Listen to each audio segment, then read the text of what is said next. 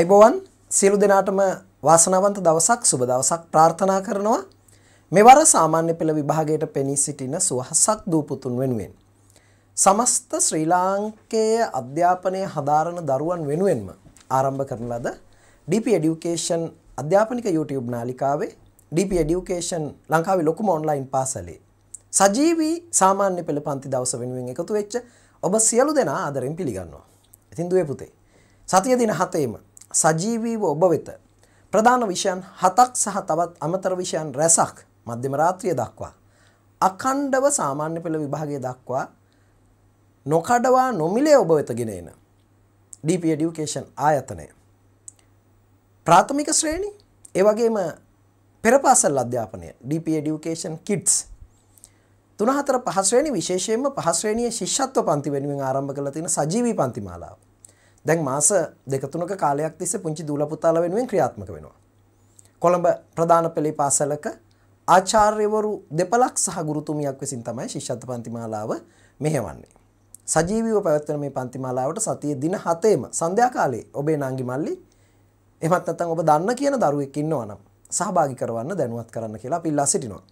ඒ වගේම 6 7 8 9 10 11 ශ්‍රේණි 11 ශ්‍රේණියේ සාමාන්‍ය පෙළ සජීවී පන්ති මාලාව මා ඉහත මතක් කළ පරිදි සතිය දින 7ෙම රාත්‍රී 8 සිට 10 දක්වාත් ඉන් අනතුරුව රාත්‍රී 10:30 සිට මධ්‍යම රාත්‍රිය දක්වාත් පැවැත්වෙන සියලුම විෂයන් ඔබ වෙත ගෙන එන සජීවී පන්තිමාලාව. උසස් පෙළ විද්‍යා ගණිත කලා වාණිජ තාක්ෂණ වේදය විෂය ධාරාවන්ට අයත් සියලුම විෂයන් සජීවී පන්ති සමග පටිගත කරන ලද පාඩම් රැසක්. ඒකම ඉන් ඔබට වෘත්තීය අධ්‍යාපනය දක්වා. අධ්‍යාපනයේ නිම්වලලු පුළුල් කරලා ඕගොල්ලොන්ට නිදහසේ නොමිලේ ඉගෙන ගන්න අවස්ථාව ලබා දීලා තියෙනවා DP Education අධ්‍යාපනික නාලිකාව. සිංහල දෙමළ ඉංග්‍රීසි මාධ්‍ය ත්‍රිත්වයෙන්ම ඉගැන්වීම් කටයුතු කරන බව අපි ඉතා ආදරෙන් මතක් කරන්න ඕන. ඒ නිසා මුළු ලංකාවෙම දුවා දරුවන්ට මේ පණිවිඩය ගෙනියන්න. දුවේ පුතේ සතිය දින හතේම ක්‍රියාත්මක වන අපගේ පන්තිමාලාවේ සජීවී පන්තිමාලාවේ කාලසටහන තමයි මේ ඔබ දකින්නේ. ඔබට නම් මේ කාලසටහන දැන් හොඳින් හුරු පුරුදු ඇති. මොකද මෙවර සජීවී පන්තිමාලාව ආරම්භ කළා දැන් මාස කිහිපයක් ගත වෙන නිසා. හැබැයි ඔබේ අසල්වැසියට ඔබේ පාසලේ මිත්‍රයාට ඔබ දන්නා කියන ඔබට පන්ති කාමරයේදී හමු වෙන කෙනාට මේ පණිවිඩය මතක් කරන්න සඳුදා දවසේ රාත්‍රී 8 සිට 10 දක්වා සිංහල විෂය ඉගෙනවීම කටයුතු කරනවා. අපේ ගියවර හිටපු සජීවී පන්ති මාලාවෙන් ඔබට දැනුම ගෙන ආපු ප්‍රදීප් රණතුංග ආරච්චි සම තමයි සිංහල විෂය ඉගෙනවීම කටයුතු කරන්නේ. ඒ වගේම අඟහරුවාද දවස අද දවස පසුගිය වසරේ කාලසටහනමයි ක්‍රියාත්මක වෙන්නේ ඉතිහාසය විෂය වෙනුවෙන් රාත්‍රී 8 සිට 10 දක්වා සුජිත් ගමගේ එනම් මා විසින් ඔබ සඳහා දේශන ඉදිරිපත් කරනවා. බදාද දවස ගණිතය විෂය දැනුම ඔබ වෙත ගෙනෙන දවස. කොළඹ ප්‍රධාන පෙළේ පාසලක ආචාර්යවරයෙක් තමයි ගණිතය විෂය සඳහා ඔබත් සමග එකතු වී සිටින්නේ බදාද රාත්‍රී 8 සිට 10 දක්වා පැය දෙකක කාලයක් සජීවීව. බ්‍රහස්පතින්ද දවස තොරතුරු sannivedana තාක්ෂණය ගියවර සජීවී පන්තිය කාලසටහනම තමයි නේද දුවේ පුතේ. එම ගුරුතුමාම තමයි ICT විෂය උගන්වන්නේ තොරතුරු sannivedana තාක්ෂණය තාරක දුෂාන්ස. ඒකම සිකුරාදා දවස ගියවර හිටපු ආචාර්යතුමාමයි. සුමින්ද දොඩංගොඩ සම තමයි මෙවරත් ඔබත් එක්ක ඉන්නේ. රාත්‍රී 8 සිට 10 දක්වා සිකුරාදා ඉංග්‍රීසි විෂය ඔබ වෙත ගෙන එන්න. සෙනසුරාදා දවස සුපුරුදු විදිහට අරෝස සර් එනවා විද්‍යාව දැනුම අරගෙන. රාත්‍රී 8 සිට 10 දක්වා අරෝස සමරතුංග සර් ගියවර හිටපු විද්‍යාව ගුරුතුමාමයි ඒ වගේම ගියවර තිබ්බ කාල වේලාවමයි ඔබ වෙනුවෙන් ලබා දීලා තියෙන්නේ. ඉරිදා දවසේ ව්‍යාපාර හා ගිණුම් කරන අධ්‍යයනය. බිස්නස් ඒ වගේම එකවුන්ටිං. Accounting studies. එහෙම නැත්නම් අපි කියනවා කොමර්ස් විෂය. ඔබ වෙත ගෙන එන්නේ චතුරංග සර් ගියවර හිටපු සර්මයි රාත්‍රී 8 සිට 10 දක්වා. ඉන්න අනතුරුව රාත්‍රී කාලේ දහයයි තිහේ සිට මධ්‍යම රාත්‍රිය දක්වා දොළහ පමණ වනතුරු තවත් විෂයන් ගණනාවක් ඔබ වෙතගෙන එනවා ප්‍රවීණ ආචාර්ය මණ්ඩලයක් විසින්. සඳුද දවසේ රාත්‍රී දහයයි තිහට නර්තනය විෂය ඉගැන්වීම් කරනවා මධ්‍යම රාත්‍රී දොළහ දක්වා. ඒවගේම සෑම මසකම දෙවනි සඳුදා දින නාට්‍ය හා රංග කලාව විෂය ඉගැන්වීම් කරනවා රාත්‍රී දහයයි තිහේ සිට දොළහ දක්වා. ඒ අනුව සඳුදා දිනවල එක් සඳුදාවක නර්තනය විෂයත් අනික් සඳුදා දවසේ නාට්‍ය හා රංග කලා විෂයත් වශයෙන් සතියක් හැර සතියක් ලෙස එම කාලසටහන ක්‍රියාත්මක වෙනවා. දැනුවත් කරන්න ඔබේ මෙවර සාමාන්‍ය පෙළ විභාගයට පෙනී සිටින මිතුරු මිත්‍රයන්. අඟහරුවාද දවසේ එක් අඟහරුවාදා දිනක රාත්‍රී 10යි 30 සිට මධ්‍යම රාත්‍රී 12 දක්වා භූගෝල විද්‍යාව විෂය ජෝග්‍රෆි. ඒ වගේම එක් අඟහරුවාදා දිනක පුරවැසි අධ්‍යාපනය විෂය රාත්‍රී 10යි 30 සිට මධ්‍යම රාත්‍රී 12 දක්වා. මාරුවෙන් මාරුවට මේ විෂයන් දෙක ඉගැන්වීම් කටයුතු සිද්ධ කෙරෙනවා අඟහරු ආදාවක් හැර අඟහරු ආදාවක්. අද දවස පුරවැසි අධ්‍යාපනය පැවැත්වෙන විෂය රාත්‍රී 10යි 30 සිට මධ්‍යම රාත්‍රී 12 දක්වා. එම විෂය දැනුම ඔබ වෙත ගෙන එන්නේ ඔබට ඉතිහාසය විෂය උගන්වන මා විසින්මයි. ඒ නිසා භූගෝල විද්‍යා විෂය හදාරන දරුවෝ එක අඟහරු ආදාවක සූදානමින් සිටින්න ඊළඟ අඟහරු ආදා පුරවැසි අධ්‍යාපනය හදාරන දරුවෝ ඒ සඳහා සූදානමින් සිටින්න. බදාදා දවස වෙන් කරලා තියෙනවා චිත්‍ර විෂය සඳහා චිත්‍ර කලාව. රාත්‍රී 10යි 30 සිට මධ්‍යම රාත්‍රී 12 දක්වා. ඒ වගේම බ්‍රහස්පතින්ද දවස වෙන් කරලා තියෙනවා බටහිර සංගීතය විෂය වෙනුවෙන් රාත්‍රී 10යි 30 සිට මධ්‍යම රාත්‍රී 12 දක්වා. සිකුරාදා දවස වෙන් කරලා තියෙනවා පෙරදිග සංගීතය වෙනුවෙන් රාත්‍රී 10යි 30 සිට මධ්‍යම රාත්‍රී 12 දක්වා. සෙනසුරාදා දවස සෞඛ්‍ය හා ශාරීරික අධ්‍යාපනය විෂය ඉගැන්වීම් කටයුතු කරනවා අරෝස සර්මයි මධ්‍යම රාත්‍රී 10යි 30 සිට 12 දක්වා. ඉරිදා දවසේ බුද්ධ ධර්මයේ විෂය ඔබ වෙත ඉගැන්වීම් කටයුතු කරනවා රාත්‍රී 10යි 30 සිට මධ්‍යම රාත්‍රී 12 දක්වා. ඔය විදිහට තමයි සතියේ දින 7 විෂයන් 14කට වැඩි ප්‍රමාණයක් ඔබ වෙත ගෙන එන්නේ. පැහැදිලි නේද දුවේ පුතේ? මේ හැම විෂයකින්ම ඔබට ලොකු ප්‍රයෝජනයක් ගන්න පුළුවන් දක්ෂ ප්‍රවීණ ආචාර්ය මණ්ඩලයක් ඔබ වෙත ලබා දීමට නිෂ්පාදක මණ්ඩලය කටයුතු කරලා තියෙනවා. ඉතින් මේ DP Education අධ්‍යාපනික සංකල්පයේ නිර්මාතෘ පසුගිය වසර දෙකකට වැඩි කාලයක් රටේ විවිධ ගැටලු බාධක තිබ්බ අවධියක කොවිඩ් වසංගත තත්ත්වය එනිසා පාසල් අධ්‍යාපනය බිඳ වැටීම උපකාරක පන්ති පවා නතර වී තිබ්බ යුගයක් තිබ්බා. ඒ වගේම විවිධ ගැටලු නිසා වර්ජන ඒ වගේම උද්ඝෝෂණ ඇඳිරි නීති තත්ත්වයන් නිසා අධ්‍යාපනය යන හිටලා තිබ්බ කාලවකවානු තිබ්බා. මේ ව්‍යසන සමයන් හැම එකදීම නොකඩවා එක දවසක් නෑර මොන බාධක තිබ්බත් විදුලි බලය බිඳ වැටීම. ඉන්ධන ප්‍රශ්න. නීතිය බිඳ වැටීම් වගේ අවස්ථා අරගලකාරී තත්ත්වයන්. ඒ සියල්ල හමුවේ වසංගත තත්ත්වයන් හමුවේ අකණ්ඩව මේ සජීවී පන්ති මාලාව එකඳු දවසක් නෑර ඔබ වෙත ගෙන එන්නට අපේ නිෂ්පාදක මණ්ඩලය සමත් වුණා. ඉතින් අපි අපේ ආචාර්ය මණ්ඩලයට නිෂ්පාදක මණ්ඩලයට වගේම මෙම සංකල්පයේ නිර්මාතෘ ධම්මික පෙර මහත්මයාටත් ඒ පිළිබඳව අපේ ගෞරවය ස්තුතිය පුද කරන්නට ඕන. හොඳයි. අපි යමු යමු පුතේ අපේ සුපුරුදු ප්‍රශ්න පත්තර වැඩසටහනට. මම කිව්වා පසුගිය විභාග ප්‍රශ්න පත්තරම සාකච්ඡා කරන්න නැතුව වරින් වර පසුගිය විභාග ප්‍රශ්න පත්තරත් සාකච්ඡා කරමු. ඒවැය තියෙන ප්‍රශ්නත් අපි ගම්මු. හැබැයි විභාගය සැලකිය යුතු කාලෙකින් දික් කරලා තියෙනවා. ඒ නිසා අපිට ටිකක් විෂය කරුණු තාවරණය කරගෙන වැඩ ගොඩාක් අමතක වෙලා තියෙන 10 ශ්‍රේණිය පාඩම් වලිනුත් ප්‍රශ්නෝත්තර සාකච්ඡා කරමින් ඉදිරියට යන්න පුළුවන්. පසුගිය වැඩසටහන් වලදී ඒ කිව්වේ ගියවර සාමාන්‍ය පෙළ දූල පුතාලා වෙනුවෙන් ඉදිරිපත් කරපු වැඩසටහන් වලදී අපි වැඩි වශයෙන් විභාග ප්‍රශ්න පත්‍ර සාකච්ඡා කරා. ඒ අතරේ අමතර විෂය කරුණුත් පෙළ පොතේ සඳහන් පාඩම් මාතෘකා වලින් තෝරාගත් කරුණුත් වරින් වර සාකච්ඡා කරා. ඒ නිසා මෙවර අපි විෂය නිර්දේශයේ යම් යම් තැන්වලින් සාදාගත් ප්‍රශ්න ඔබ වෙත ගෙනේමින් ඒ පාඩනුත් ආවරණය කරගෙන ඒකම වරින් වර පසුගිය විභාග ප්‍රශ්න සඳහාත් පිළිතුරු සාකච්ඡා කරමින් ඉදිරියට වැඩ ටික කරගෙන යන්න තමයි දුවේ පුතේ බලාපොරොත්තු වෙන්නේ. ඔගොල්ලෝ හැමෝම මේ අපි උගන්වගෙන යන රටාව දන්නවා. ඉතිහාසයේ විෂයේ මා මෙතෙක් දවස් ඔබ සමග වැඩ කරගෙන ආපු විදිහ ඔබ දන්නවා. ඒ නිසා මේ යන්නේ මොන රටාවටද කියලා ඔගොල්ලොන්ට දැන් අවබෝධයක් ඇති. මොකද සමහර 11 ශ්‍රේණියේ පාඩම් කතා කරන්න තරම් තාම සමහර ළමයින්ට දැනුම නැහැ. තාම ඒ හරියට පාඩම් ඔගොල්ලෝ ඉගෙනගෙන නැහැ නේද? ඒත් පාඩම් ඉගෙන ගන්නේ නැතුව අපිට එකපාරම ප්‍රශ්නයකට උත්තර ලියන්න බෑ. ඒ නිසා අපි ටික ටික ක්‍රමානුකූලව සාමාන්‍ය පෙළ විභාගයට 10 11 ශ්‍රේණි දෙකම අයිති. ඒ දෙකෙන්ම ප්‍රශ්න හැදෙනවා. වැඩි පාඩම් ප්‍රමාණයක් තියෙන 10 ශ්‍රේණියේ. ඒ නිසා ඇතැම් අවස්ථාවල වැඩිපුර ප්‍රශ්නයක් දෙකක් 10 ශ්‍රේණියෙන් හැදෙන්න පුළුවන්. ඒ නිසා කොහොම වුණත් ලකුණු සිට පණහක් හෝ ඊට මදක් වැඩියෙන් දහය ශ්‍රේණයෙන් ලැබෙන්න පුළුවන්. ඒ නිසා අපි දහය ශ්‍රේණයේ ප්‍රශ්නත් සාකච්ඡා කරමින් ඉදිරියට යමු. මේ අපි සාකච්ඡා කරමින් හිටපු පාඩමේ ඉතුරු ප්‍රශ්න කට්ටලය. දෙසිය දහවැනි ප්‍රශ්නයෙන් අහනවා දුවේ පුතේ ගමක ප්‍රධානියා හඳුන්වා ඇත්තේ මේ ගහපති කියලා වචනයක් තිබ්බ මතකද? ගහපති කිව්වේ කාටද? ගෘහයේ අධිපති ගෘහපති දැන් ඔය තියෙන්නේ සභාපති ජනාධිපති නගරාධිපති නේද?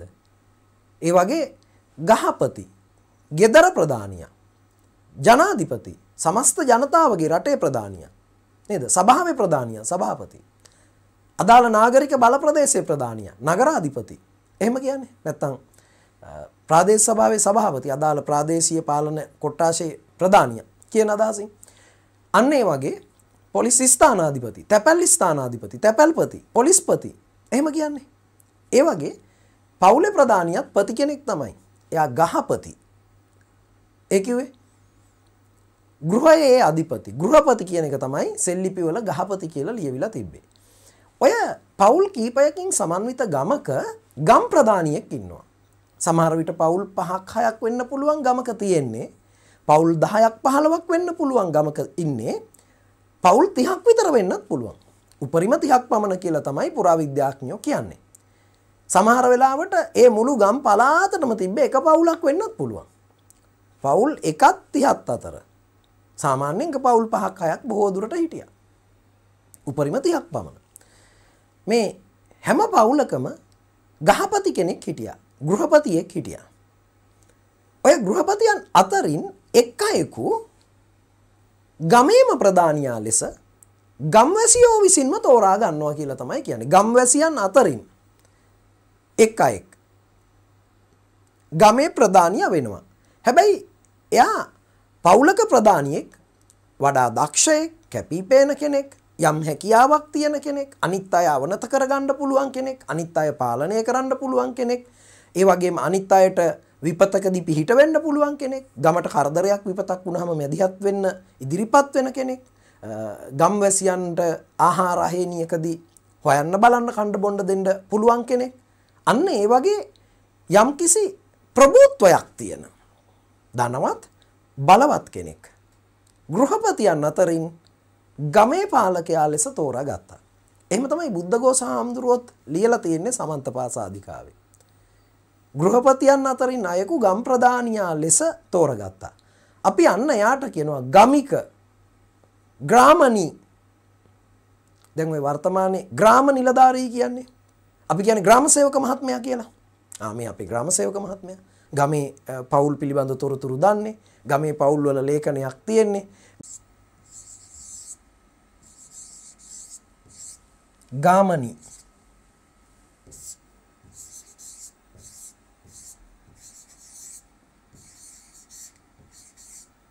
ග්‍රාමණී හොඳයි. ඒ වගේම අපේ පැරණි ව්‍යවහාරය තිබිලා තියෙනවා වචනයක් ප්‍රශ්නාංක දෙසීය එකොළහ බලන්න දසගම් ඇත්තන් මේක මාත්තලේ කළුදිය පොකුණ විහාර සෙල්ලිපියේ තිබ්බ වචනයක්. තොරතුරු ලැබී ඇති ආකාරයට නම් මේ කළුදිය පොකුණ විහාර සෙල්ලිපි. දැන් කළුදිය පොකුණ කිව්වහම මාතලේ විතරක් නෙමෙයි ඒ නම තියෙන විහාර තව තියෙනවා. සමහරවිට අනුරාධපුරයේ ගියාම මිහින්තලේ පැත්තෙත් ඒ නම තියෙන තැන් තියෙනවා. මේ මාතලේ මධ්‍යම පළාතේ මාතලේ දිස්ත්‍රික්කේ කළුදිය පොකුණ කියන විහාර සෙල්ලිපිය.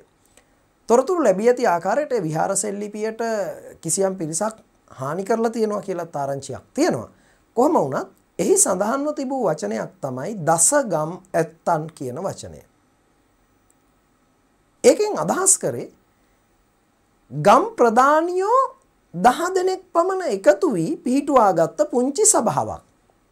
ඒක මේ රජුට සම්බන්ධ එකක් නෙමෙයි. රජුපත් කරපු අය නෙමෙයි. పూర్ව රාජ්‍ය සමයේහි රජෙක් පහළ වීමට පෙරත් ආසන්නයේ ගම්වල ප්‍රධානියෝ පොදු ප්‍රශ්න කතා කරන්න එකට එකතු වෙච්ච තැනක් තිබ්බා. ඒ වගේම පොදු වැඩ කටයුතු වලදී සහජීවනයෙන් සමගියෙන් කටයුතු කරපු බව. ගම් අතර සහජීවනය සාමය ගොඩනැගූ බව. මතු වූ ආරවුල් විසඳූ බවට තොරතුරු තියෙනවා. එහෙමනම් පොදු ගැටලුවලදී පොදු අවශ්‍යතාවලදී ගම් ප්‍රධානියෝ එකට එකතු වෙච්ච පුංචි සභාවක් තමයි ස්වාධීන සභාවක් තමයි දසගම් ඇත්තන් යනුවෙන් හඳුන්වා ඇත්තේ. එහින් අර්ථවත් කරන්නේ ගම් 10ක පමණ ප්‍රධානීන් එකතු වී යම් යම් කටයුතු සාකච්ඡා කරන්නට ගැටලු निराකරණය කරගන්නට යම් යම් අවශ්‍යතා පිළිබඳ ගම්වල මතුවන සාකච්ඡා කරන්නට සාදාගත් සභාව කියන එක දසගම් ඇත්තන්. ඔය මාතල කළුදිය පොකුණ විහාර සෙල්ලිපියේ සඳහන් වෙන්නේ දුවේ පුතේ විහාරයට දානය සැපයීමේ ගැටලුවක් ආවොත් අපි තුමු දුප්පත් දිලිඳු ගම්වැසියන්ට දානෙ දී ගන්නත් බැරි වෙන්න පුළුවන්. ස්වභාවික හේතු වෙන්න පුළුවන් වනසතුන්ගෙන් කරදර වෙලා ගම් හැර යන්න වෙන්න පුළුවන් නියං සමයන් එන්න පුළුවන් අස්වැන්න අඩු වෙන්න පුළුවන් ඒ වගේම ලෙඩ රෝග වසංගත එන්න පුළුවන් ඒ කවර හෝ හේතුවක් මත විහාරයට දානය සැපීමේ ගැටලුවක් ආවොත් දසගම් ඇත්තන් එකතු වෙලා ඒ ගැටලුව නිරාකරණය කරගන්න සාකච්ඡා කරන්න ඕන. පිළියමක් යොදා ගන්න ඕන කියන එක එහි සඳහන් වෙනවා. ඔන්න ඔතන තමයි දසගම් ඇත්තන් කියන වචනය තියෙන්නේ. බලමු එහෙනම්. දසගම් ඇත්තන් යනුවෙන් සඳහන් වන්නේ කුමක්ද? අපි ලියමු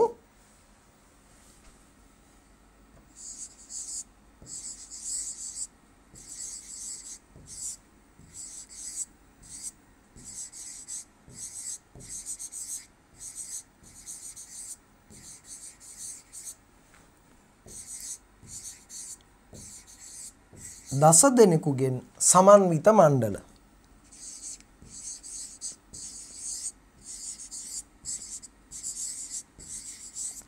සමන්විත මණ්ඩලයක් නැත්තම් එකමුතුවක් සභාවක්. හොඳයි. දසගම් ඇත්තන්. ගම් ප්‍රධානීන් දස දෙනෙකු පමණ එකතු වෙච්ච තැනක්. හොඳද? අපි යමු දෙසිය දොළොස්වැනි ප්‍රශ්නයට මාතලේ කළුදිය පොකුණ විහාර සෙල්ලිපියේ මේ පිළිබඳව සඳහන් වන්නේ. ආ අපි බලමුද මොකද්ද මේ පිළිබඳව සඳහන් වන්නේ කියලා. මේ ගැන සඳහන් වෙන්නේ පුතේ විහාරයේහි දානය සැපීමේ ගැටලුවක් ඇති වුණොත් දසගම් නැත්තන් එය විසඳිය යුතු බව. කොහෙද මේ තොරතුර තියෙන්නේ? මං හයිලයිට් කරලා දෙන්නම්. කොහෙද තියෙන්නේ මේ තොරතුර? මාතලේ කළුදිය පොකුණ විහාර සෙල්ලිපිය. හරි නේද? ලියමු එහෙනම් නේ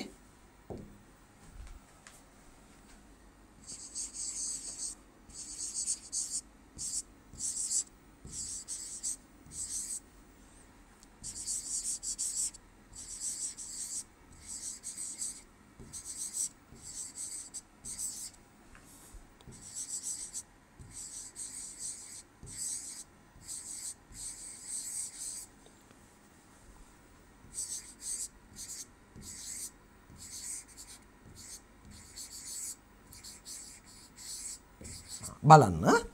විහාරයට දානය සැපයීමේ ගැටලුවක් වෙතොත් එහෙම ප්‍රශ්නයක් වුණොත්. විහාරයට දානය සැපයීමේ ගැටලුවක් වෙතොත් කවුද පුතේ ඒක විසඳන්න ඕන?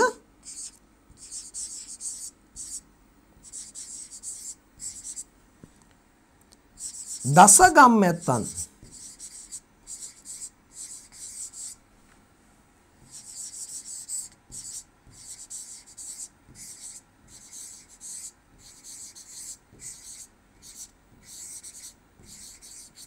එය විසඳිය යුතුය.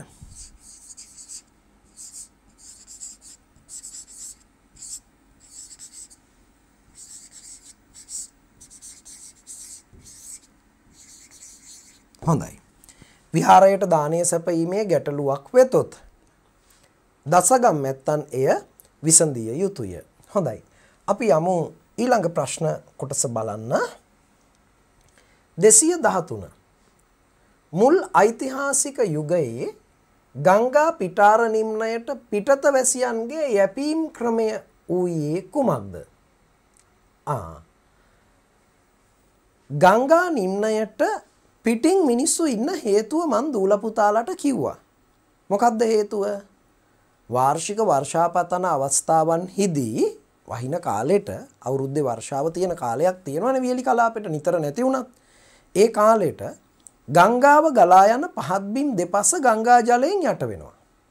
අපි ඒකට කියනවා ගංගා පිටාර නිම්නය කියලා. ගඟ දෙපස තියෙන ගංගා ජලයෙන් යට වෙන ටික ගංගා පිටාර නිම්නය. ගඟ පිටාර ගැලීමේදී යට වෙන කොටස ගංගා පිටාර නිම්නය. ඒ නිසා මිනිස්සු මුල් කාලේ ගඟ අයිනේ පදිංචි වෙන්න කැමැත්තක් නෑ බයයි. පදිංචි උනේ නෑ. ගඟෙන් ඈත හිටියේ. ගඟ අයිනේ හිටියානම් මඩ ගොවිතැනේ නියැලෙන්න තිබ්බා. කුඹුරු ගොවිතැන වී වගාවේ නියැලෙන්න තිබ්බා. වී ගොවිතැනේ. වතුර තියෙනවනේ. නමුත් ගඟෙන් ඈත ඉන්නකොට ජල පහසුව අඩුයි. එතකොට ජලාවශ්‍යතා ඉටු කරගන්න අමාරුයි. හැබැයි පුංචි පුංචි ගම්වැව් හදාගෙන ගොවිතැන් කටයුතු කරා. හේන් ගොවිතැන තමයි මුලින් තිබ්බේ පසු ඔය ජල සම්පාදන ක්‍රම ව්‍යාප්තවීමත් එක්ක තමයි වී ගොවිතැනට නැඹුරුණේ. වඩා පැරණි ගොවිතැන හේන් ගොවිතැන නැත්තම් අපි කියනවා ගොඩ ගොවිතැන. එහෙනම් ගංගා පිටාර නිම්නයෙන් පිටත ගඟෙන් ඈත හිටපු මිනිස්සුන්ගේ යැපීම් ක්‍රමය වුණේ හේන් ගොවිතැන. නියඟයට ඔරොත්තු දෙන භෝග තමයි වගා කරේ. කටෝර භෝග කියලා කිව්වා. තේරුණාද? කටෝර භෝග. නියඟයට ඔරොත්තු දෙන කටෝර පරිසරයක් කියන්නේ. ආ. මුල් ඓතිහාසික යුගයේ ගංගා පිටාර නිම්නයෙන් පිටත වැසියන්ගේ යැපීම් ක්‍රමය කුමක්ද?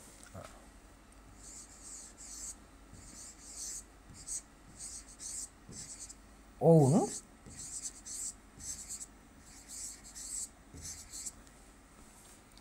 හේන් ගොවිතැනෙන් නිරත විය.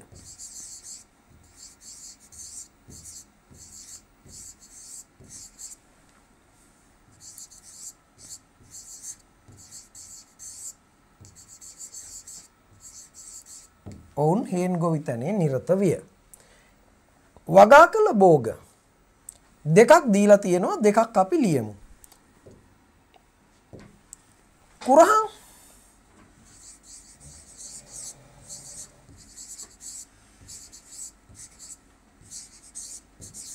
තල හේන් වගාවට ගත්ත ඒවනේ. කුරහන්, තල, මෙනේරි, තනහාල්, ඇල්වි ඔය වගේ දේවල්. මුං, උඳු ආ ඔය තියෙන්නේ. වගා කළ භෝග. මේවා හේන් වගාවේදී වගා කළ භෝග. ඉරිංගු අහලා තියෙනව නේද? ඔය අපි ඉරිංගු ඇට ගෙනල්ලා පොරිය එහෙම හදන්න ගන්නේ. ඉරිංගු කරල් තම්බලා ඔය මග දෙපස විකුණන්න එහෙම තියලා තියෙන්නේ. අපි බඩ ඉරිංගු කියන්නේ. ආ. කුරහන්, තල, මෙනේරි, මුං, උඳු, තනහාල්, ඇල්වි, ඉරිංගු ආ හොඳයි. වගා කළ භෝග. මේවා කටෝර බෝගයි කටෝර බෝග යනු මොනවාද? දැම් පොඩ්ඩකට කලින් මං කිව්වා. නියඟයට ඔරොත්තු දෙන බෝග නියගේ සහිත පරිසරයක වියලි කලාපය වුණත් වතුර හිග වුණත් වැවෙන බෝග මේවා කටෝර බෝගයි අපි කටෝර බෝග කියන එක හයිලයිට් කරගම්මු පුතා. හොඳට පේන්ඩ අපි මතු කරගම්මු කටෝර බෝගයි කටෝර බෝග යනු මොනවාද? ලියමු උත්තරේ.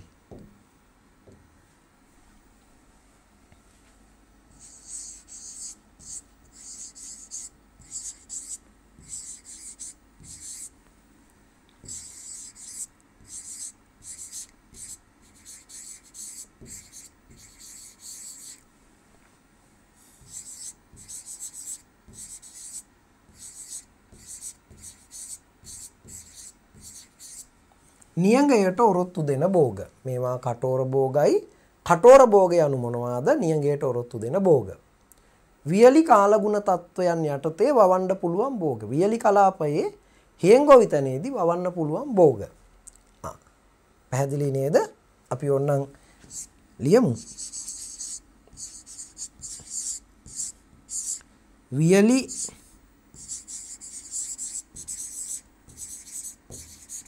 කාලගුණ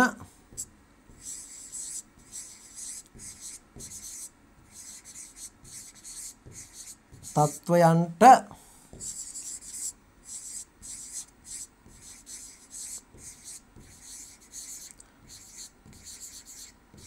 ඔරොත්තු දෙන බෝග කියලා අමතරව වැඩිදුරටත් ලියාගමු. හොඳයි. වියලි කාලගුණ තත්ත්වයන්ට ඔරොත්තු දෙන බෝග දෙසිය පහළව ප්‍රශ්නය. ජනගානය වැඩිවන්න විට ආහාර නිෂ්පාදනය වැඩි කිරීමට කුමක් කළේද. ජනගානය වැඩි වෙනකොට ආහාර නිෂ්පාදනය වැඩි කරන්න ඕන. අතීතය හිටපු ගම්වැසියන් ගම් ප්‍රධානීන් පරුමකවරු පසු කලක නම් රජවරු මෙය දැනගෙන හිටියා. අතීතයේ හිටපු රජවරු දැනගෙන හිටිය ජනගහනය වැඩි වෙනකොට ආහාර නිෂ්පාදනය වැඩි කරන්න ඕන කියලා.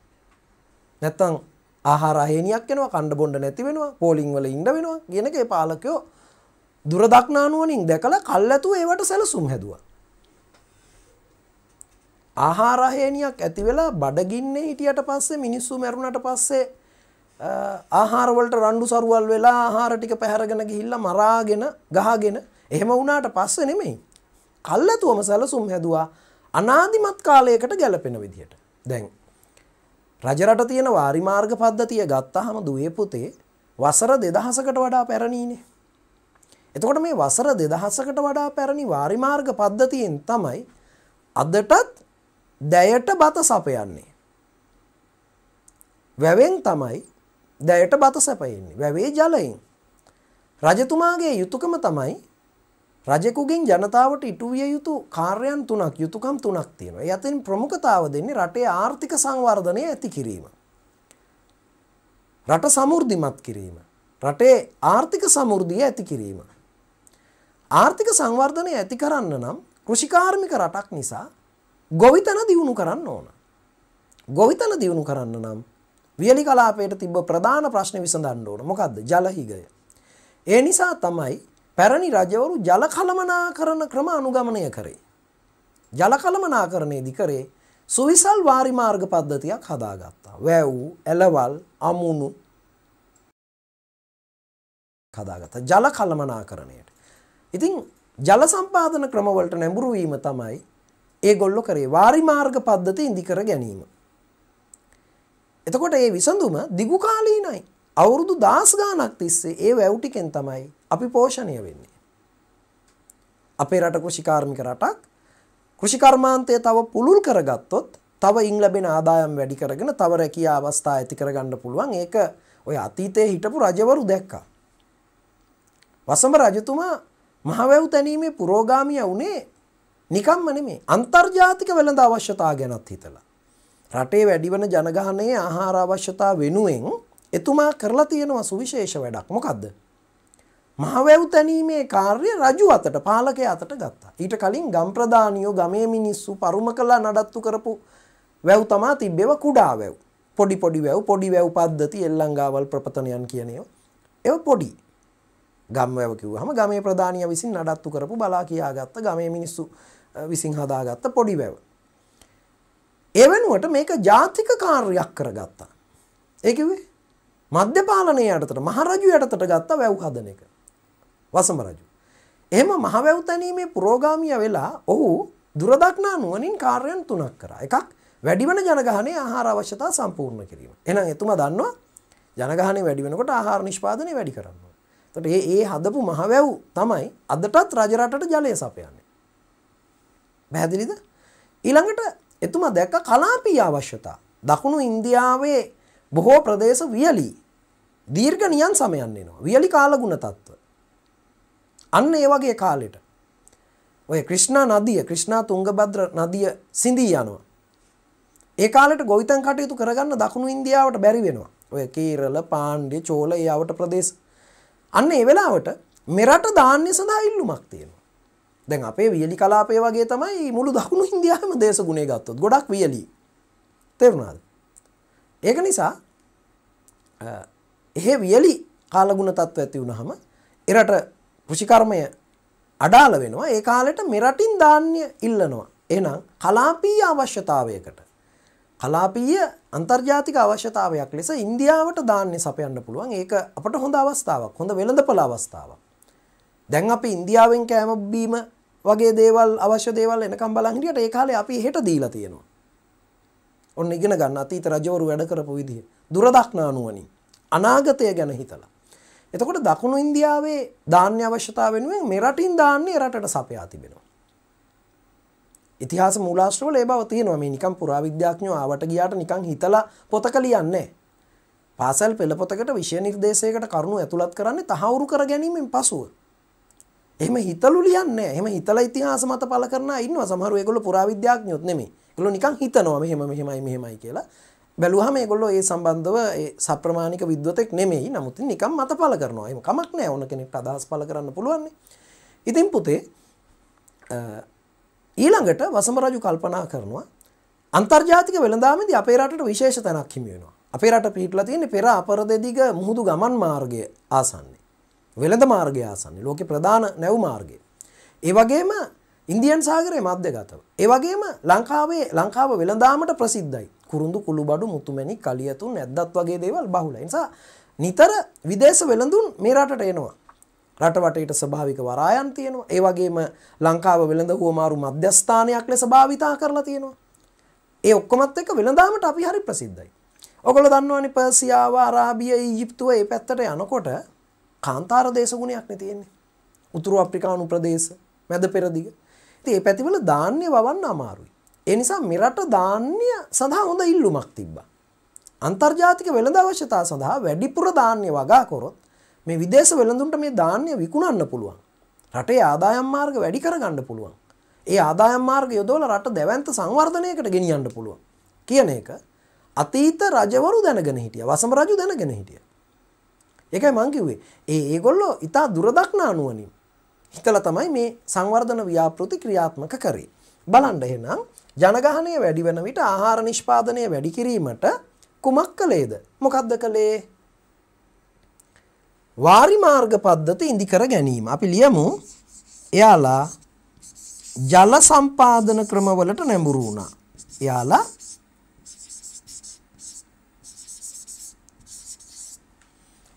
ජල සම්පාදන ක්‍රමවලට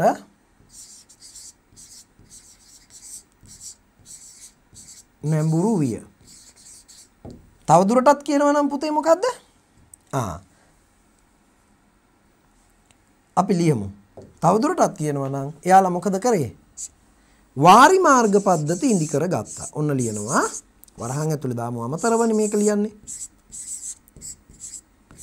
වාරි මාර්ග ඉදි කර ගැනීම.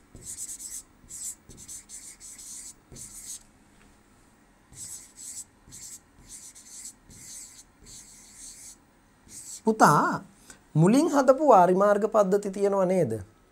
ඒ මුලින් හදපු වාරිමාර්ග පද්ධති ගම්වල මිනිස්සු ගම් ප්‍රධානියාගේ මැදිහත් වීමෙන් හදාගත්ත පුංචි පුංචි වැව් පුංචි පුංචි ඇලවල් වගේ දේවල් අමුණු ගංගා හරස් කරලා බැම්මක් බැඳලා වතුර පාර වගා බිමකට හරවන.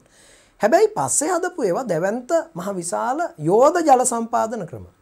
ඒවා රජවරු විසින් හදපුවා. රජු විසින් මේ වැඩේ තමන්ගේ අතට ගත්තට පස්සේ තමයි මහවැව් විශාල වාරි මාර්ග පද්ධති ඉඳිවීම පටන් ගත්තේ. දැන් අපි ඇලහැර ඇල වගේ එකක් ගත්තොත් එහෙම ඒක ඇත්තටම ඇලක් කිව්වට ඇලක් තමයි. නමුත් එක පැත්තකින් බැලුවහම වියලි කලාපය හරහා යන මහා ගංගාවක් වගේ.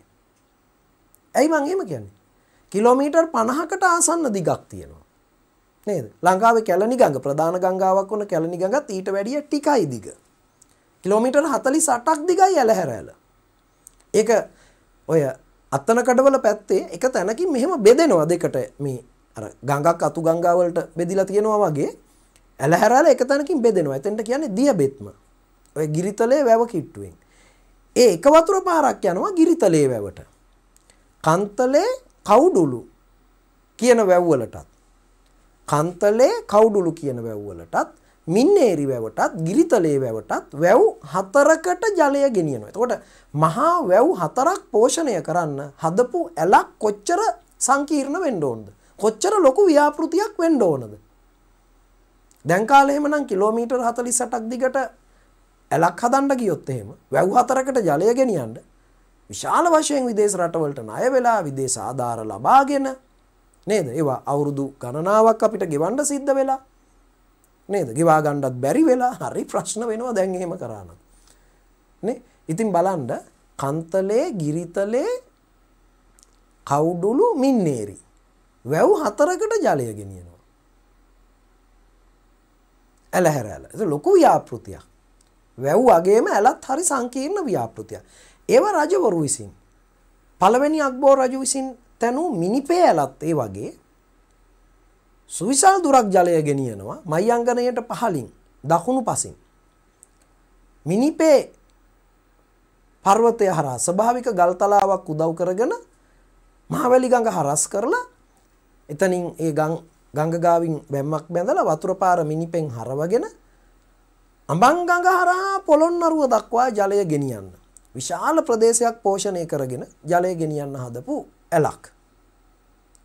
ඒ වගේම ඔය ආකාශ ගංගාව කියලා ඉතිහාසයේ සඳහන් වන අංගමඩිල්ල ඇල. අංගමැඩිල්ල ඇල පළවෙනි පරාක්‍රමබාහු රජු විසින් අඹංගගෙන් ජලය පරාක්‍රම සමුද්‍රයට ගෙන යාමට සාධන ලද්දා. වර්තමානයේ පසු කලෙක ගොවි ජනපද ව්‍යාපාරයේදී ලොකු මෙහෙවරක් අපේ රටට කරපු ඩීඑස් නායක මහත්මයා විසින් ඉදිකරපු ඔය ගොවි ජනපද ව්‍යාපාරය හරහා ඉදිකරපු නවීන ඉදිකිරීම අපට දැන් ගියහම දැක ගන්න පුළුවන් වගේම අතීතයේ මේ ගඟේ වතුර පාර හරව ගන්න අඹංගඟ පාලනය කරන්න යොදපු විශාල ගල් බැම්මක් අදටත් දැක ගන්න පුළුවන්. මේකට මේ පැත්තේ මිනිස්සු තාමත් කියන්නේ රජ බැම්ම කියලා. රජවරු තැනූ කියන අදහසින් තමයි එහෙම කියන්නේ. රජ බැම්ම කියලා කියනවා. අදටත් දැක ගන්න පුළුවන් අඹංගඟේ. එතනින් තමයි ඒ ආසන්නෙන් තමයි වර්තමානයේ ඉංජිනේරුවෝ ඉදි කරපු ඔය ඩීඑස් සේනානායක මහත්මයාගේ කාලේ ඉදි කරපු වර්තමාන අංග මැඩිල්ලලට ජලය හැරවන තැන තියෙන්නේ. පැහැදිලිද? ඊළඟට වැවක් තවත් වැවක් එක්ක යා කරන ඇලක් තියෙනවා. යෝධ ඇල හෙවත් ජයගඟ. මල්වතුවයට සමගාමීව තව ඔයක් හැදුවා වගේ තමයි. මල්වතුවයට සමගාමීව මල්වතුවයට බටහිරින් තව ඔයක් යනවා වගේ. කලා වැවේ ජලය අනුරාධපුර නගරයේ අවශ්‍යතා සඳහා තිසා වැවට ගෙනියන්න. හදපු ඇල. යෝධලේ විශේෂත්වයක් තියෙන්නේ ජලය ගලාගෙන යන බවක් දැනෙන්නේ නැති තරම් බෑවුම අඩුයි ජල බැස්ම අඩුයි. එතකොට ජලය ගලාගෙන යනවා කියලා අපට පේන්නේ නැති තරමට හිමින් වතුර යන්නේ. මේක නිකන් දිගාතට තනපු වැවක් වගේ. කියන්නේ වතුර පිරීලා තියෙනවා වගේ පේන්නේ. ගලන බවක් පේන්නේ වැව් දෙකක් යා කරලා තව වැවක් හදලා වගේ. පැහැදිලිද? දිග වැවක් වගේ. හැබැයි ඇලක්. ඉතින් මේ වගේ වාරිමාර්ග පද්ධතිය වැව වගේම ඇලත් හරි වැදගත්. හොඳේ පුතේ ඒකත් අහගන්න. ඒ ගැනත් දැනුවත් වෙලා ඉන්න. 216 ප්‍රාග්ඓතිහාසික මානවයාගේ ආහාර රටාව. ඔවුන් ජීවත් වූ පරිසරයට අනුව වෙනස් වී ඇති අයුරු නිදසුන් දෙකක් මගින් පෙන්වන්න. මේ ප්‍රශ්නේ අපි යොදාගත්තේ පසුගිය මේ පෙර ප්‍රශ්නවල සාකච්ඡා කරපු තැනක අතහැරී තිබූ ප්‍රශ්නයක්. එනිසා ඒ මතකය ආපහු අලුත් කරගන්නත් එක්ක මම මේ ප්‍රශ්නේ මෙතෙන්ට යෙදුවා. බලන්න. ප්‍රාග්ගයිත් දැන් මේ ආහාර රටාව කියන එක ඉස්සරහට දිගට දිගට අපි කතා කරනවා. ආහාර රටාව ගැන වෙනම පාඩමක කොටසක්ම තියෙනවා. මොකද ඔය ආහාර රටාව වැරදිච්ච තැනින් අපිට ගොඩක් දේවල් වැරදුනා. තේරුණාද? මේ වසංගත රෝග බෝ වෙන රෝග වලින් ඉස්සර මිනිස්සු ගොඩක් මිය ගියේ.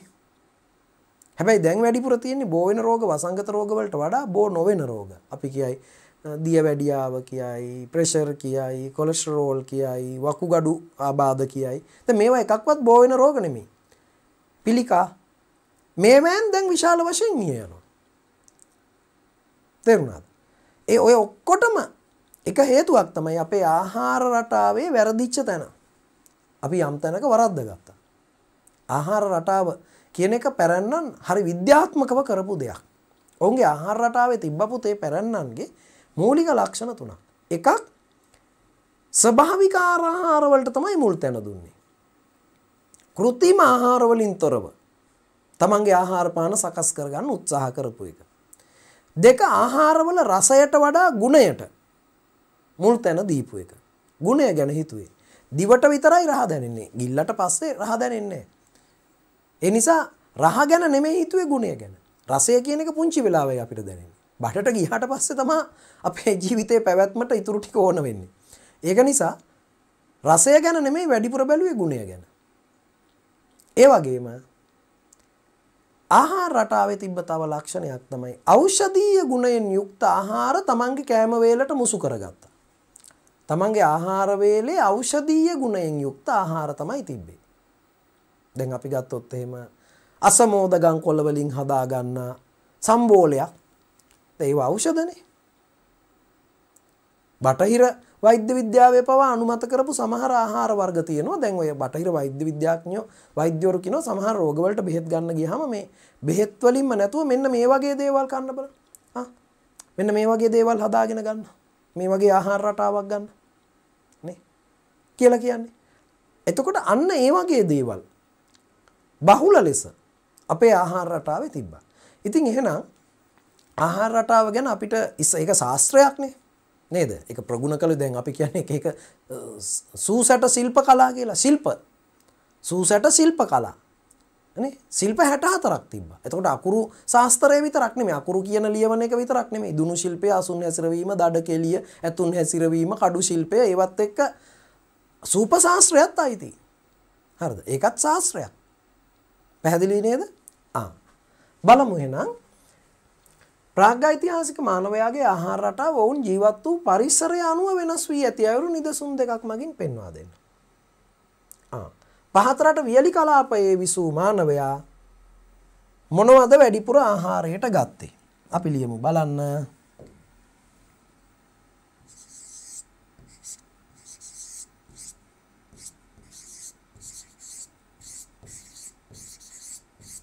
මුවා ගෝනා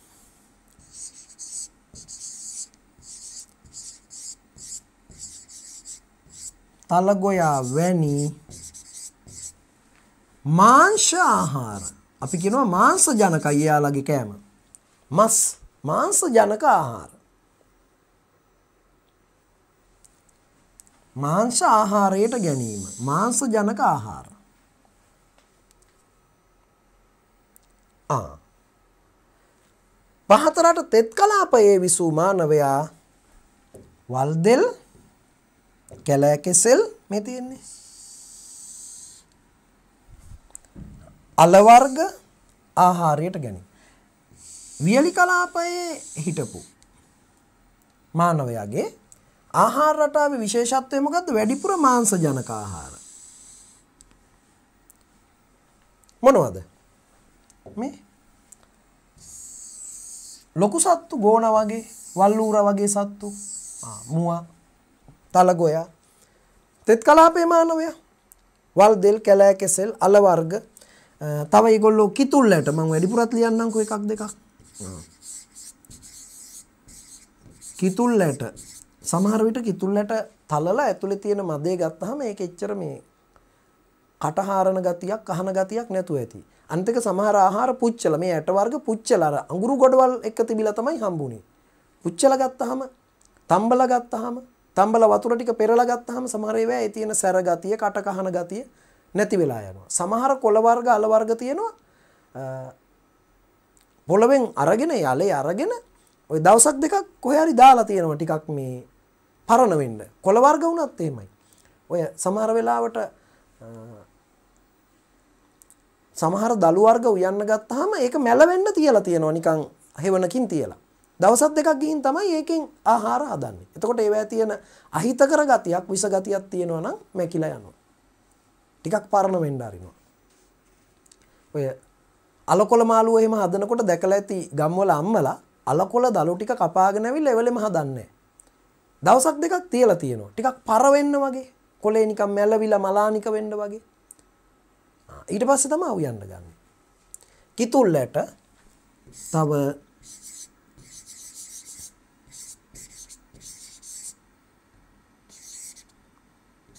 දෝතලු ඇට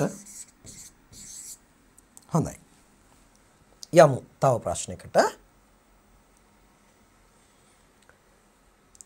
ප්‍රාග්යිතිහාසික මානවයාගේ ජීවන රටාවේ කැපී පෙනෙන ලක්ෂණ මොනවාද? ප්‍රාග්යිතිහාසික මානවයාගේ.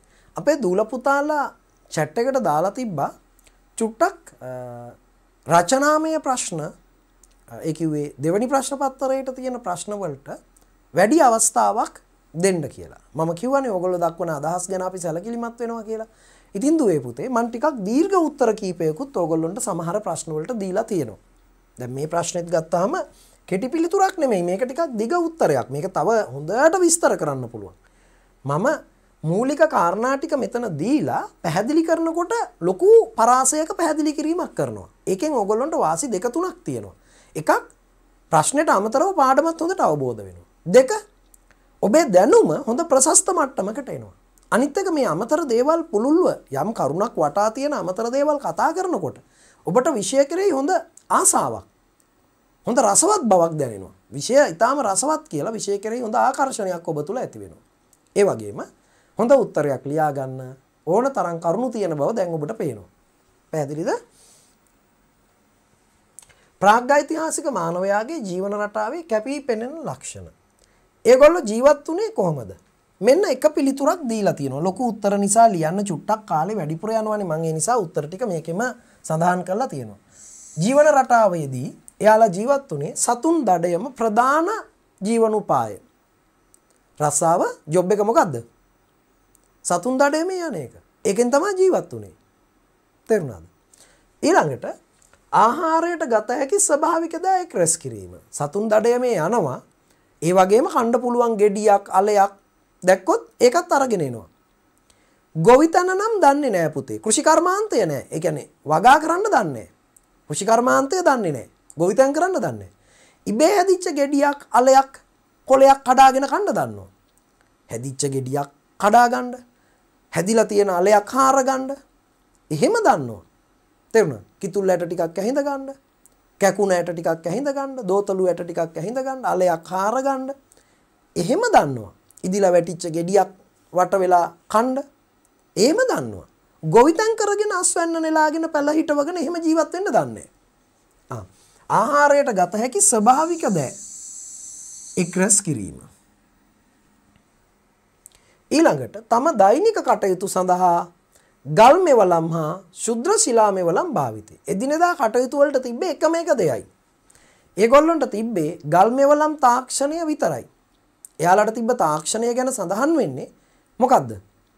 ලොකු ලොකු දේවල් කරන්න දැනගෙන හිටියේ නෑ. හැබැයි ගල් ආයුධ හදාගන්න දැනගෙන හිටිය Tamanට ඕන විදිහට. ශුද්‍ර ශිලා මෙවලම්, ශිලා මෙවලම්, ජාමිතික හැඩයට. එතකොට සමහර ඒවාට අපි බිම් වීදුරු කියලා කියනවා මේ මේ එකම විදිහට හදාගත්ත ගල් පතුරු කෑලි තිබිලා තිනවා චූටි චූටි බ්ලේඩ් තල කෑලි වගේ කැපෙන විදුරු කෑලි වගේ. ආ සමමිතික ගල් මෙවලම්. ඒවට දැනුම තිබිලා තියෙනවා. තම දෛනික කටයුතු සඳහා ගල් මෙවලම් හා ශුද්‍ර ශිලා මෙවලම් මේක කුඩා ගල් ආයුධ භාවිතා කිරීම. මෙයාලගේ ජීවන රටාව ගත්තාම දැන් ඔබට උත්තරයක් ලියා ගන්න කරුණු ගොඩක් තියෙන බව පේනවා පුතේ. අවමංගල්‍ය චාරිත්‍ර අපි කියනවා අභිචාර විධි පැවති බවට තොරතුරු තියෙනවා. වෙන වෙන චාරිත්‍ර තිබ්බද දන්නේ අභිචාර විධි කිව්වේ චාරිත්‍ර වාරිත්‍ර. අවමංගල්‍ය චාරිත්‍ර නම් තිබ්බ බවට තොරතුරු ලැබී තිබෙනවා. ඒ කිව්වේ මිය ගිය අයගේ ඇට සැකිලි හම්බුනේ වකුටු කරලා තුනටිය නමලා දනිස් දෙකෙන් කකුල් දෙක අත් දෙක නමලා වකුටු කරලා පැත්තට ඇලේට දාලා තියෙන්නේ. උඩු බැලි අතට නෙමෙයි. හිස් කබලේ සිදුරු විදලා තියෙනවා. හිස් කබලේ සමහර තැන් ගුරුගල් ආලේප කරලා වර්ණ ගන්වලා තියෙනවා. හිස් කබල ගලක උලා මට සිලිටු කරලා තියෙනවා. සුමට කරලා තියෙනවා. සුමට කරනවා කියන්නේ පිටට නිරායති රළු තැන් හොඳට අතුල්ලලා තියෙනවා. ඒ වගේම මේ ලක්ෂණ මේ මේ අභිචාර විදි රාවණායල්ලලෙනෙන් හම්බුණා වගේම පාහියන් ගලලෙනෙනුත් හම්බුණා කුරුවෙට බට තොඹලෙනෙනුත් සීග්‍රිය පොතානලෙනුත් හම්බු වෙච්ච ඒවායිත් අර වකුටු කරලා ඇට සැකිලි වල දමා තිබ්බ සාධකය තියෙනවා ඊළඟට වර්ෂා කාලවල ස්වභාවික ගල් ගුහාවලද වියලි කාලගුණ සමයේ එලිමහන් කඳවුරුවලද තම වාසස්ථානයේ ගෙවල් හැදුවේ නෑ. ස්ථිරවාසීතාව නෑ. ස්ථිරවාසස්ථාන නෑ. ගම් නෑ. තැන තැන ඇවිදිමින් ජීවත් වුණේ. වර්ෂා කාලවල බොහෝ දුරට ගල් ගුහාවල වාසය කරනවා. වියලි කාලගුණ සමයේ එලිමහන් කඳවුරු අපි කියනවා විවෘත අවකාශීය දඩයම් තිප්පලවල. එලිමහන් කඳවුරු වල වාසය කරනවා. විවෘත අවකාශීය දඩයම් තිප්පලවල. එලිමහන් වාසස්ථාන. හොඳයි. මෙන්න මේ ටික තමයි ප්‍රාග්ඓතිහාසික මානවයාගේ ජීවන රටාවේ කැපී පෙනෙන ලක්ෂණ. ආපහු බලමු මේ ප්‍රශ්නේ 218. ටිකක් දිග උත්තරයක් නේද? මුල් ඓතිහාසික යුගයේ ජනාවාස ව්‍යාප්ති රටාවේ වර්ධනය වූ ලක්ෂණ මොනවාද? ආ. ඒගොල්ලෝ මෙන්න මේ සාධක ගැන සැලකිලිමත් වෙලා තියෙනවා. හරිද? පස සාරවත් පසක් තියෙන තැන්වල තමයි පදිංචි වෙන්න කැමති. ඊළඟට භෞතික පරිසරය ගැන සැලකිලිමත් වෙලා තියෙනවා. භෞතික භූගෝලීය සාධක. භූ විෂමතාව. ගොවිතැන් කටයුතු වලට තැනිතලා බිම් නම් ඉතා හොඳයි. හරිද? වර්ෂාපතනය, ජලවහනය, ස්වභාවික සම්පත්වල ව්‍යාප්තිය වැනි මොනවද තියෙන ස්වභාවික සම්පත්? ස්වභාවික සම්පත් බහුල නම් තමයි ජනගහනය ඒ ප්‍රදේශවල වැඩි. සමහර ගම් මිනිස්සු අතහැර ගිහින් තිබ්බ අපි ඔල ගම් කිව්වා. ඇයි අතහැර ගියේ? තමන්ගේ පැවැත්මට අවශ්‍ය ස්වභාවික සම්පත් නැහැ. ඒ නිසා ඒ ගම්වල පැවැත්ම තමන්ට අමාරු නිසා ඔවුන් මේ ප්‍රදේශ හැර ගියා. සමහර ඒවට වන සතුන්ගෙන් කරදර සිද්ධ වුණා. කොහොම වුණත් භෞතික සාධක කෙරෙහි සැලකිලිමත් වී තිබෙනවා. පස භූ විෂමතාව වර්ෂාපතනය ජලවහනය ස්වභාවික සම්පත්වල ව්‍යාප්තිය වැනි භෞතික සාධක පදනම් කරගෙන. භෞතික සාධක. අපි ඔහොම මෙහෙමත් දාමුකෝ. භූගෝලීය සාධක ගැනත් බලලා තියෙනවා. භෞතික භූගෝලීය. සාධක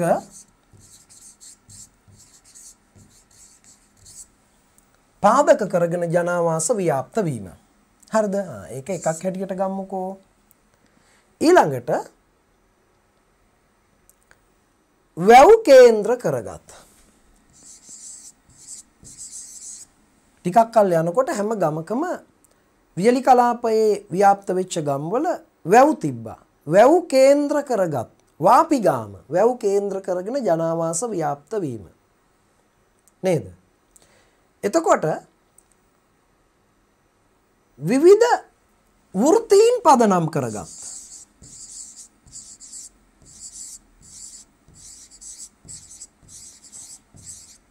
විවිධ වෘත්තීන් පදනම් කරගත් ගම් බිහිවීම. වැව් කේන්ද්‍ර කරගෙන ජනාවාස ව්‍යාප්ත වෙලා තිබ්බා. විවිධ වෘත්තීන් පදනම් කරගෙන ජනාවාස ව්‍යාප්ත වෙලා තිබ්බා. උදාහරණයකට විවිධ වෘත්තීන් කිව්වහම උදාහරණයකට කසී කාරගාම ඒ කිව්වේ කෘෂිකර්මයේ නිරත වූ ගම්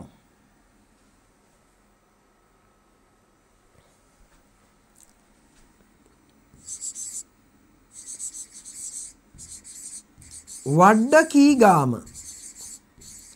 වඩුවන් විසූ ගම්.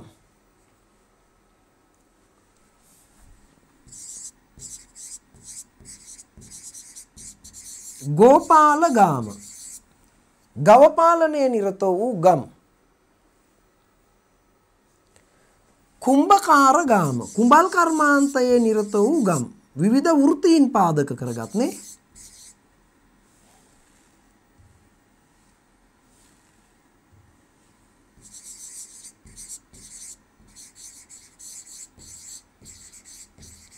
ඇති උදාහරණ හතරක්ම තියෙනවා.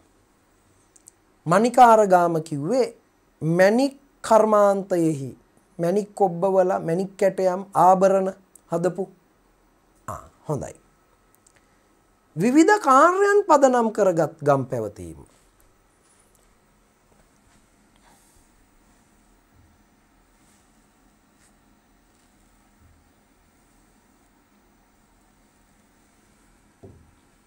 විවිධ කාර්යයන් පදනම් කරගත් ගම් පැවතීම. අපි උදාහරණ කීපයක් දෙමු.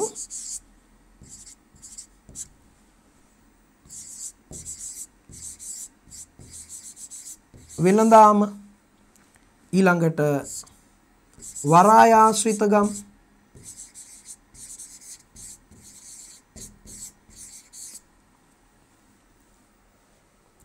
හරි.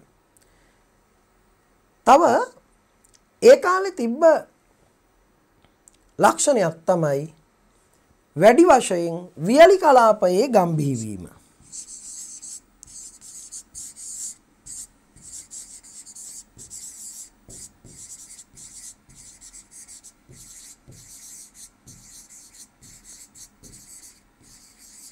හොඳයි. දැන් අපි ඊළඟ ප්‍රශ්නෙට යමු යමු. ආ මුල් ඓතිහාසිකයුගේ ජනාවාස කෙබඳුද ස්වරූපය අහන්නේ මෙන්න මේක වරහන් වුණා නම් හොඳයි. ජනාවාස කෙබඳුද? මුල් ඓතිහාසිකයගේ ජනාවාස කෙබඳුද? උත්තර ගොඩාක් තියෙන නිසා ඒ කියන්නේ මේවා අපට ගන්න වෙන්නේ රචනා ඒ කියන්නේ විස්තර කරලා ලියන ප්‍රශ්න වලට උත්තර හැටියට. මුල් කාලේ ජනාවාස තිබ්බේ පුතේ ගංගා පිටාරනිම්නයට පිටින් ගඟට ඈතින් කියන එකයි ඒකේ තේරුම. මං ඉස්සෙල්ලා විස්තර කරේ. ගංගා පිටාරනිම්නය කියන එක මම දවසක් ඇඳලා පෙන්නුවා. මතකද? ආයෙ බලන්න ඕන නම් ඔන්න බලා ගන්න.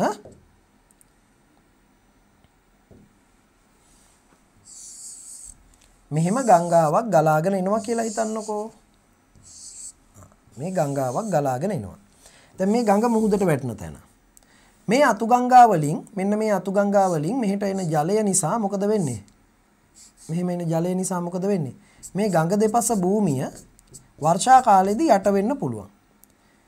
අපි මෙන්න මේ ටිකට තමයි කිව්වේ මොකක් කියලාද? ගංගා පිටාරණිම්නේ මේ තියෙන්නේ. මේ ටික තමයි යට වෙන්නේ. ඒ නිසා ජනාවාස බිහි වෙන්නේ මේ ටික ඇතුලේ නෙමෙයි මේකෙන් පිටත. ජනාවාස බිහි වෙන්නේ ගඟෙන් ඈත. මෙතන මෙතන මෙතන මෙතන මෙතන මෙතන ගඟෙන් ඈත. හැබැයි පස්සේ කාලෙක ජල ගැලීම් පාලනය කිරීම සඳහා වැව් ඉදි කරා.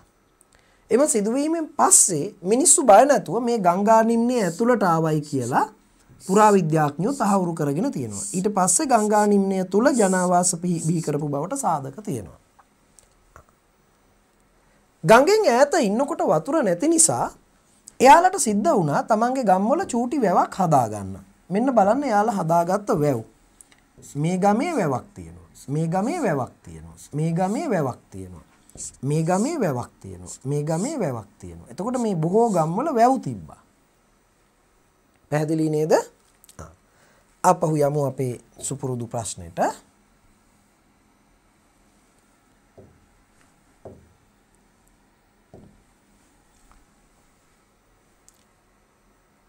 ඓතිහාසිකයෝගේ ජනාවාස කෙබඳුද? නැත්තම් ජනාවාස කියන එක කෙබඳුද කියන එකට ස්වરૂපය දක්වන්න කියලා අහන්නත් පුළුවන්. ස්වરૂපය කෙබඳුද? අපි ලියමු. ගංගා පිටාර නිම්නයට ගංගා පිටාර නිම්නයට පිටින් ජනාවාස ව්‍යාප්ත විය. ගංගා පිටාර නිම්නයට පිටින් ගමක පවුල් සංඛ්‍යාව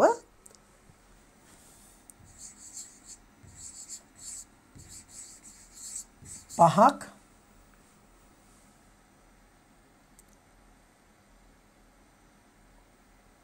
හයක් හෝ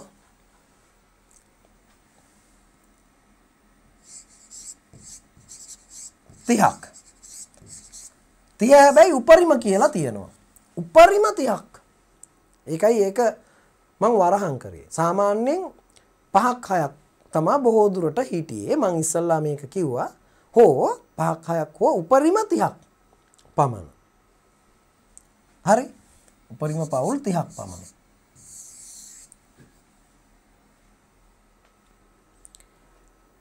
ගම්වල ස්වභාවය කතා කරනකොට ජනාවාස කිව්වේ මේවා ස්ථිර වාසස්ථාන්නේ ගම්නේ.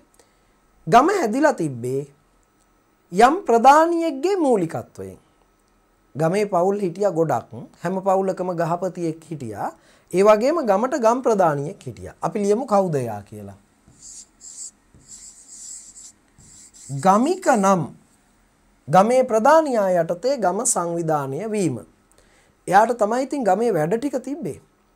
ගමෙන් බදු අය කරන්න ගමේ ආරවුල් විසඳන්න ගම් අතර සහජීවනය පවත්වගෙන යන්න ගම් අතර සාමය පවත්වගෙන යන්න ගමේ සුළු ඇරදිවලට දඬුවම් දෙන්න, ගම් වැව නඩත්තු කරන්න, ගමේ පොදු කටයුතු වලට නායකත්වය දෙන්න. ඒව තමයි යාට අයිති වැඩ.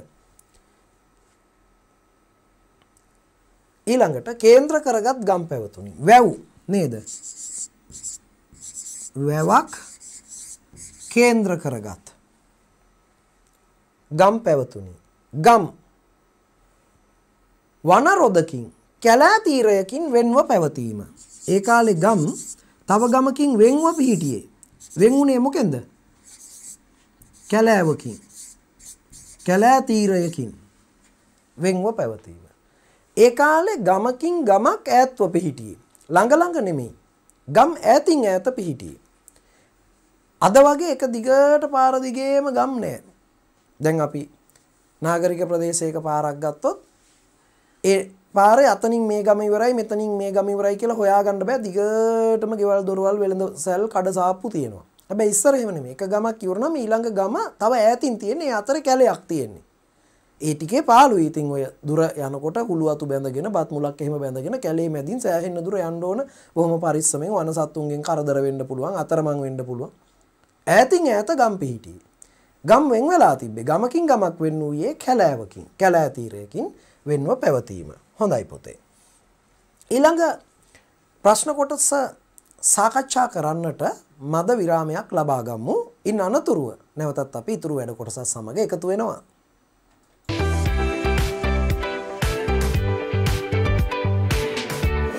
ජීවින් තමයි නිරීක්ෂණය කරන්න යන්නේ. මම පුතාලට කිව්වා ක්ෂුද්‍ර ජීවීන් පියවි ඇහෙන් නිරීක්ෂණය කරන්න බෑ කියලා නේද පුතේ? මම ඔයගලන්ට කිව්වා අන්වීක්ෂය මං හඳුන්වලා දෙන්නම් කියලා විද්‍යාගාරයට ගිහාම මෙන්න තියෙන ඔයගලන්ට අන්වීක්ෂයක්. පේනව නේද? මේ අන්වීක්ෂය තුලින් යමක් පරීක්ෂා කරනකොට මේක දාස් ගුණයක් ලොකු වෙලා තමයි අපිට බලා ගන්න පුළුවන් වෙන්නේ. එතකොට පුතේ ක්ෂුද්‍ර ජීවීන් අපේ පියවිය හැට පේන්නේ නෑනේ. එතකොට ඒක දහස් ගුණයකින් විශාලනය වෙලා තමයි අපිට මේ අන්වීක්ෂය තුලින් බලා ගන්න පුළුවන් වෙන්නේ. දැන් මම මගේ පුතාලට පෙන්වන්නේ මේ වගේ මේ පිදුරු පල් කරපු ජලය ස්වල්පයක් තමයි මෙතන තියෙන්නේ. මේ ජලයේ ඉන්න ශුද්ධ ජීවීන් තමයි දැන් පුතාලා අඳුනගන්න යන්නේ. ඔන්න බලන්නකො පුතේ මේ අන්වීක්ෂය මේ අන්වීක්ෂය මෙන්න මෙතන තියෙන වේදිකාව කියලා කොටසක්. මේ කොටස උඩින් තමයි අපි මේ අපිට බලන්න ඕනේ නිදර්ශකය ගෙනල්ලා තියන්නේ. එහෙම තියලා ඊට පස්සේ අපි අවශ්‍ය ප්‍රමාණයට මේක එහා මෙහා කරලා සීරු මාරු කරලා ඊට පස්සේ අපිට පුළුවන් මේ විදියට මෙතනින් බල ඇස් දෙකෙන් මෙහෙම නිරීක්ෂණය කරන්න පුළුවන් මේ ක්ෂුද්‍ර ජීවීන්. එතකොට පුතාලට පේනවා ඒක විශාලණය වෙලා මං පුතාලට ඒක තිරයේ හොඳට පැහැදිලිව දිස් වෙන්න සලස්වන්නම්. එතකොට පුතාලට ඒ පේන දේ හොඳට නිරීක්ෂණය කරන්න පුළුවන්. හරි පුතේ අපි බලමු ඉස්සෙල්ලාම මේකට අපි ගන්නෙ මෙන්න තියෙනවා මේකට කියන්නේ වීදුරු කදාව කියලා. තේරුණාද? දැන් පුතාලා දැකලා නෑනේ මීට ඉස්සෙල්ලා මේක නේද? මේකට කියන්නේ පුතේ වීදුරු කදාවක් කියලා. එතකොට වීදුරු කදාවකින් ගොඩාක් වෙලාවට අපි දෙයක් පරීක්ෂා කරනකොට අන්වීක්ෂය තුලින් මෙන්න මේ වැසුම් පෙත්ත කියන මේකත් අපිට අවශ්‍ය වෙනවා. මේක ඊටාම සියුම් වීදුරු වලින් හදලා තියෙන්නේ. අපි බලමු මේ දෙකෙන් කොහොමද දැන් ඕගොල්ලෝ මේ නිරීක්ෂණය කරන්න කියලා. දැන් බලමු අපි කොහොමද කියලා මේ නිදර්ශකය හදාගන්නේ.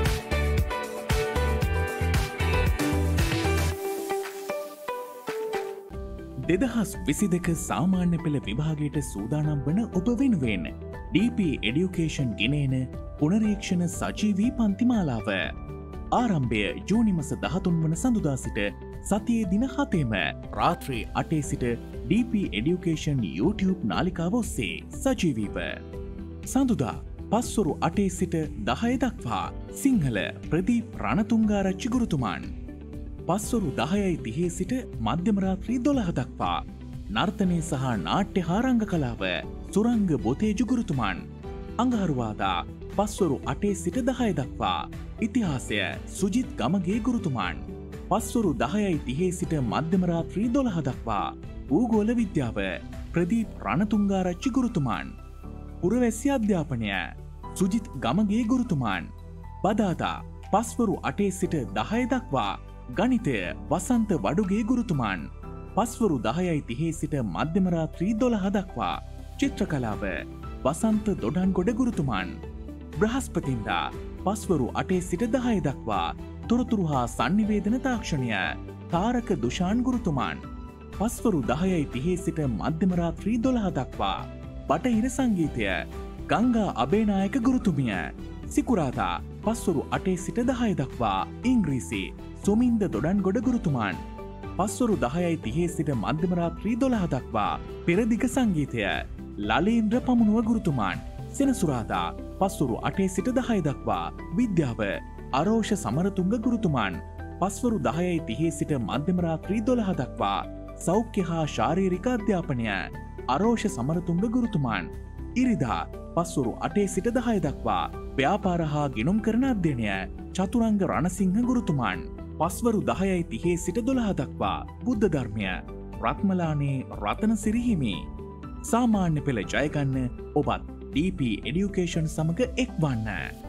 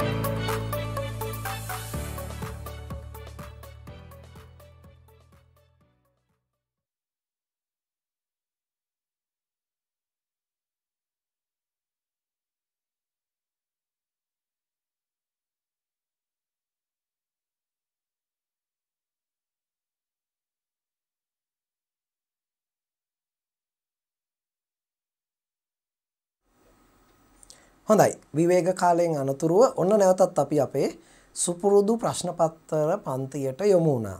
අද අඟහරුවාද දවස. දිවයිනේ දූපුතුන් DP Education නාලිකාවෙන් ඉතිහාසය විෂය ඉගෙන ගන්න දවස. ඒ වගේම සතිය දින 7ේම සජීවී පන්තිමාලාව පැවැත්වෙන බවත් අවශ්‍යම විෂයන් රාත්‍රී 8 සිට 10 දක්වා සතිය දින 7ේම ඔබ වෙත ගෙනෙන බවත් ඔබේ යාළුවන්ට අසල්වැසියන්ට මතක් කරන්න අමතක කරන්න එපා.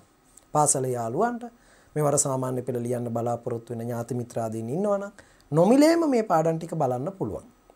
ඒ වගේම දුවේ පුතේ පහ ශ්‍රේණිය දැනට ආරම්භ කරලා තියෙන සජීවී ශිෂ්‍යත්ව පන්තිය. තව වැඩි කාලයක් නැහැ ශිෂ්‍යත්ව විභාගෙට.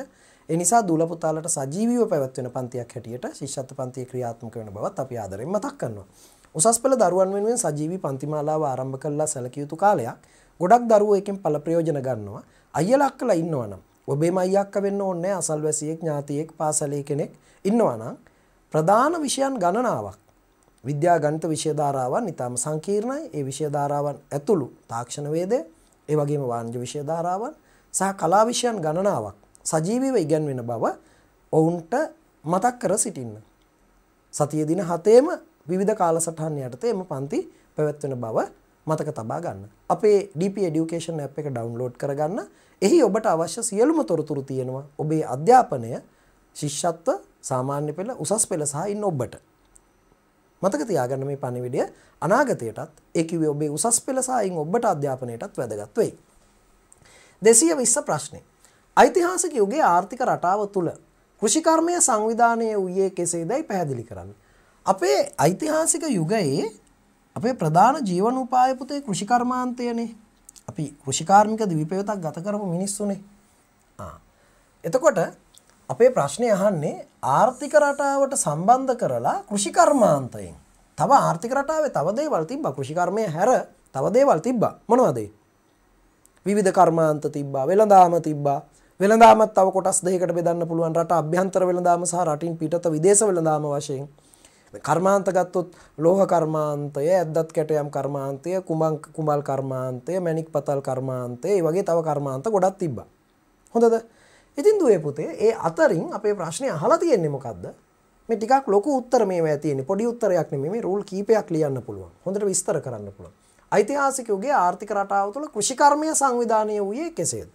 කෘෂිකර්මාන්තයේ ප්‍රධාන තැනක් ගත්තේ හේන් ගොවිතැනයි වී ගොවිතැනයි. කෘෂිකර්මය හේන් ගොවිතැන කිව්වේ? ආ අපි ලියමු. කෘෂිකර්මය ගොඩ ගොවිතැන ගොඩ ගොවිතැන. ඒ කිව්වේ හේන් ගොවිතැන. සෙහෙන් හේන් පිටිබිම් කියලත් කිව්වා. ගොඩ ගොවිතැන. ඊළඟට මඩ ගොවිතැන. ගොඩ ගොවිතැන මඩ ගොවිතැන. පුතා ගොඩ ගොවිතැන කිව්වේ හේන් වගාව මඩ ගොවිතැන කිව්වේ වී වගාව. කුඹුරු වස් වෙන්න කියලා කියන්නේ. කුඹුර කෙත නේද? කෘෂිකර්මයේ කොටස් දෙකයි ගොඩ ගොවිතැන මඩ ගොවිතැන. එතකොට වී ගොවිතැනේදී වසරකට කන්න දෙකක් වගා කරලා තියෙනවා. අපි කියනවා යල කන්නය මහ කන්නය කියලා. වසරකට කන්න කන්නයක් කියන්නේ මොකද්ද? ලියලා ඉමුකෝ. වසරකට කන්න දෙකක්.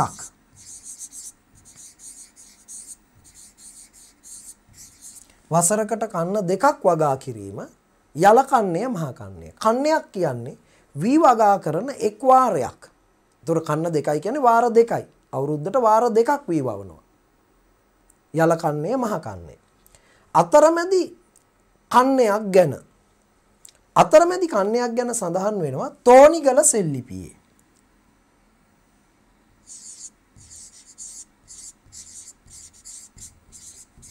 තෝනිගල සෙල්ලිපියේ.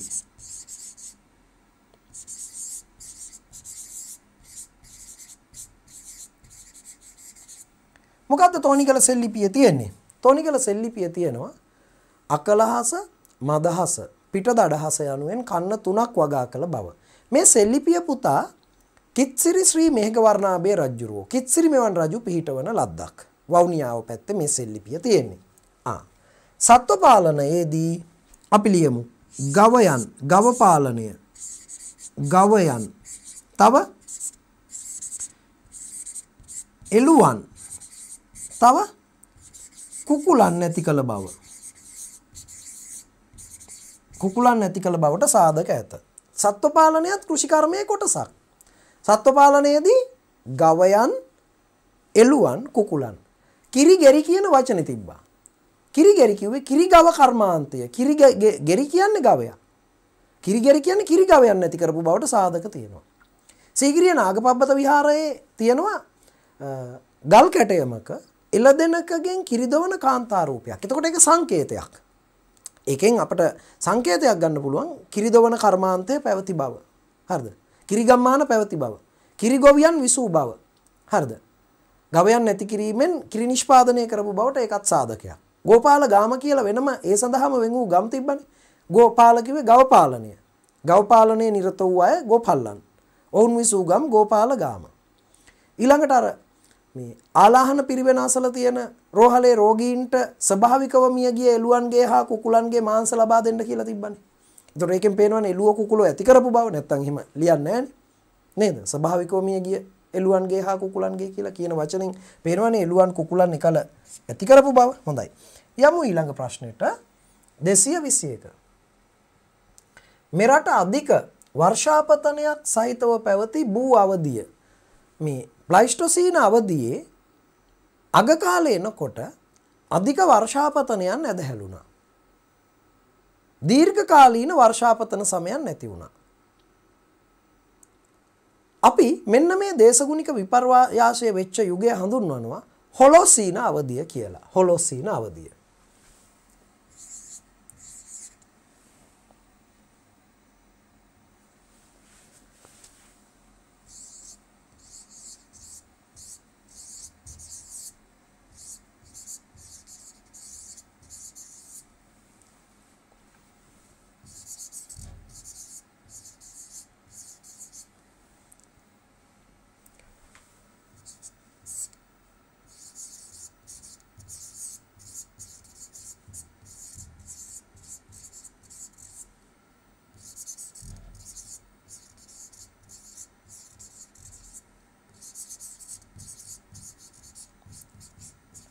ප්ලයිස්ටොසීන අවධියේ අවසානය සිද්ධ වෙන්නේ මෙන්න මේ කාලය තුල.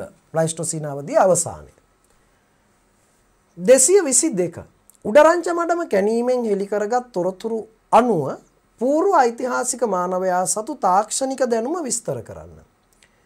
උඩරංච මඩමෙන් තහවුරු කරගත්ත සාධක අනුව අපිට උඩරංච මඩමෙන් හමුුණේ නිවසක අවශේෂ. නිවසක් කිව්වහම එහෙම සම්පූර්ණ නිවසක් නෙමෙයි. අද කාලේ තියෙන නිවසකුත් නෙමෙයි. මැටි ගෙයක් වරිච්චි මැටියෙන් බිත්ති තනාගෙන පංකොල වගේ දෙයක් හෙවිලි කරලා හදාගත්ත ගෙයක්. හැබැයි නිවසක් හදන්න අවශ්‍ය තාක්ෂණික දැනුම ඒ කාලේ මානවයන්ට තිබ්බ බවට මේක හොඳ සාක්ෂියක්. නිවසක අවශේෂ කිව්වේ අත්තිවාරම බැඳපු ගල් හම්බුණා. ගල් අතුරා ඒ මත මැටි අතුරා ගෙබිම සකසාගෙන තිබ්බා. ඒ කියන්නේ අත්තිවාරමක් බඳින්න දැනුම තිබිලා තිනවා. ගෙබිම සකසා ගන්න එපා බිත්ති බඳින්න ගයක් හදාගන්න. නේද? ඒ දැනුම තිබිලා තියෙනවා. නිවාස තැනීමේ තාක්ෂණය. ලියමු. ගල් අතුරා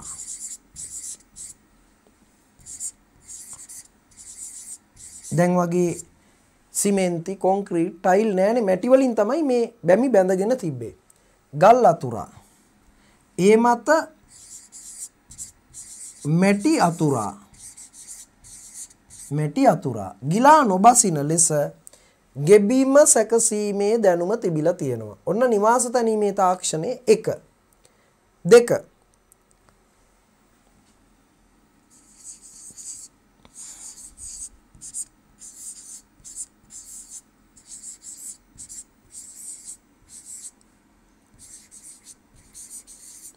වරිච්චි මැටියෙන් බිත්ති බැඳීම. වරිච්චි මැටියෙන්. ඒ කියන්නේ ලී කණු හිටවලා තෙත මැටි වලින් ඒ ලී කණු අතරේ උඩට උඩට උඩට පස් බැඳගෙන එනවා. එතකොට වරිච්චි මැටියෙන් බිත්ති බැඳීමේදී මට තව කාරණයක් කියන්න ඕන. පොළවට ලම්බකව බිත්ති බැඳීම කියන එකත් අපි මෙතන ලියමු. මොකද පුතේ මේ පොළවට ලම්බකව බිත්ති බැඳේ නැත්තම් බිත්තියේ සමබරතාවය පවත්වාගෙන යන්න බැරුව බිත්ති පෙරලෙනවා. හොඳද? බලමු අපි ඒක මෙතන ලියාගන්න යටින් ඉඩ තියෙනවනේ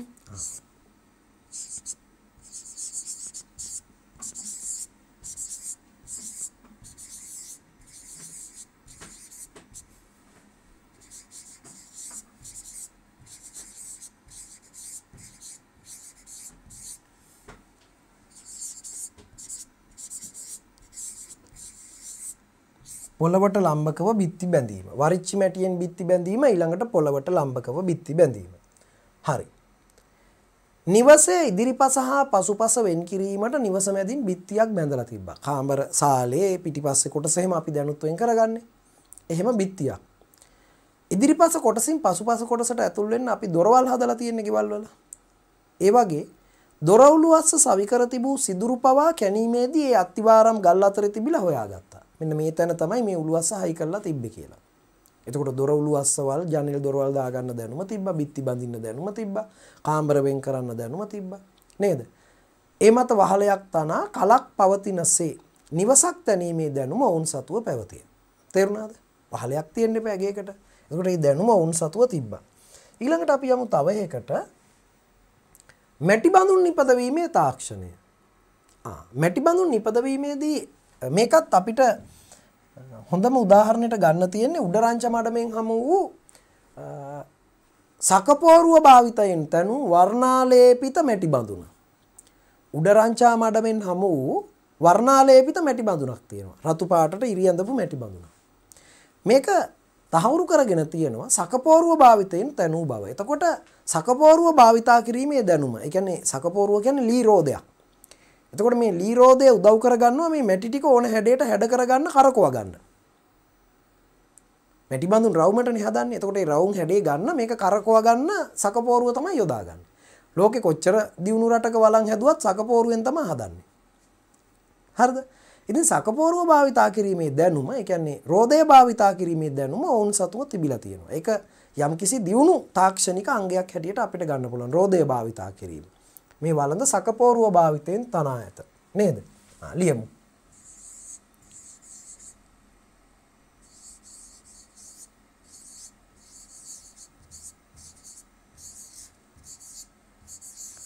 සකපෝරුව භාවිතයෙන් මැටි බඳුන් නිපදවීම.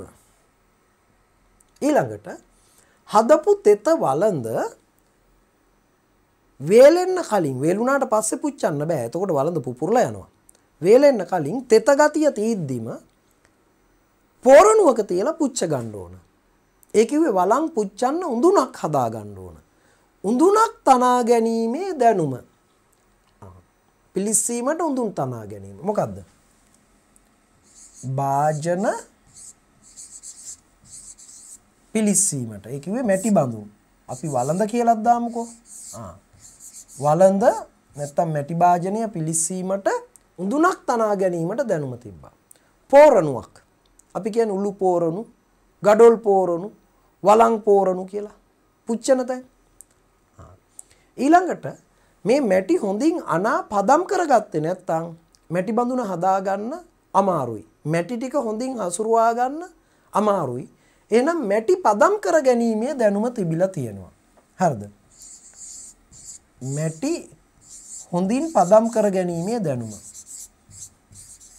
මැටි පදම් කරලා තමයි ගන්නේ වළං හදන්න.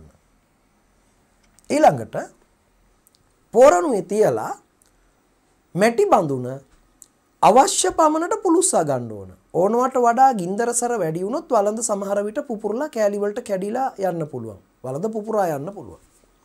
ඒ නිසා નિયમિત උෂ්ණත්වයකට වළඳ පුච්ච ගන්නත් දැනුම තිබිලා තියෙනවා. බලන්න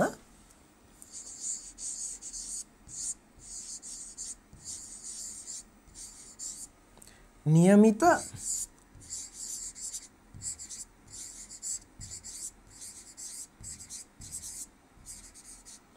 උෂ්ණත්වයට බඳුන පුළුස්සා ගැනීම. නියමිත උෂ්ණත්වයට බඳුන පුළුස්සා ගැනීම. යමු අලුත් ප්‍රශ්නයකට දෙසිය විසි හතර ශ්‍රී ලංකාවේ රාජ්‍යත්වය ප්‍රතිස්ථාපනය වීම ආරම්භ වූයේ කවර රජ සමේද ලංකාව රාජ්‍යයක් තත්වයට වර්ධනය වුණේ. රජෙකු විසින් පාලනය කරන භූමියක් බවට පත් වුණේ. දැන් ලංකාව ජනාවාස වෙලා ගොඩක් කල්. අවුරුදු 125000කට පෙර ලංකාවේ හෝමෝසේපියන් වර්ගයේ ආදිකාලීන හෝමෝසේපියන්ලා ඉඳලා තියෙනවා. ඒ කියන්නේ නූතන මානවයා හෝමෝසේපියන්නේ. ඒ කියන්නේ අපේ මුල් අය අවුරුදු 125000කට කලින් ඉඳලා තියෙනවා. ඒතකොට ලංකාව ජනාවාස වෙලා ගොඩක් කල්. හැබැයි ලංකාව ජනාවාස වෙලා කාලයක් ගත වූ පසුවයි රාජ්‍ය බිහි වුණේ. රජෙක් යටතේ පාලනය වෙන භූමියක් බවට මේක පත් වුණේ. ලංකාව ජනාවාස බිහි වී ලංකාවේ ජනාවාස ව්‍යාප්ත වී ලංකාව ජනාවාසයක් බවට පත් වී කලක් ගත වූ පසුවයි ලංකාව රාජ්‍යයක් බවට පත් වුණේ. රජෙක් විසින් පාලනය කරන භූමියක් බවට පත් වෙන යම් කාලයක් ගත වුණා. හැබැයි අපි දන්නවා ක්‍රිස්තු පූර්ව 2400 විතර ඉඳලා අපි යම් කිසි දියුණුවක් ලැබුවා. අපි කිව්වේ පූර්ව ඓතිහාසික යුගය කියලා.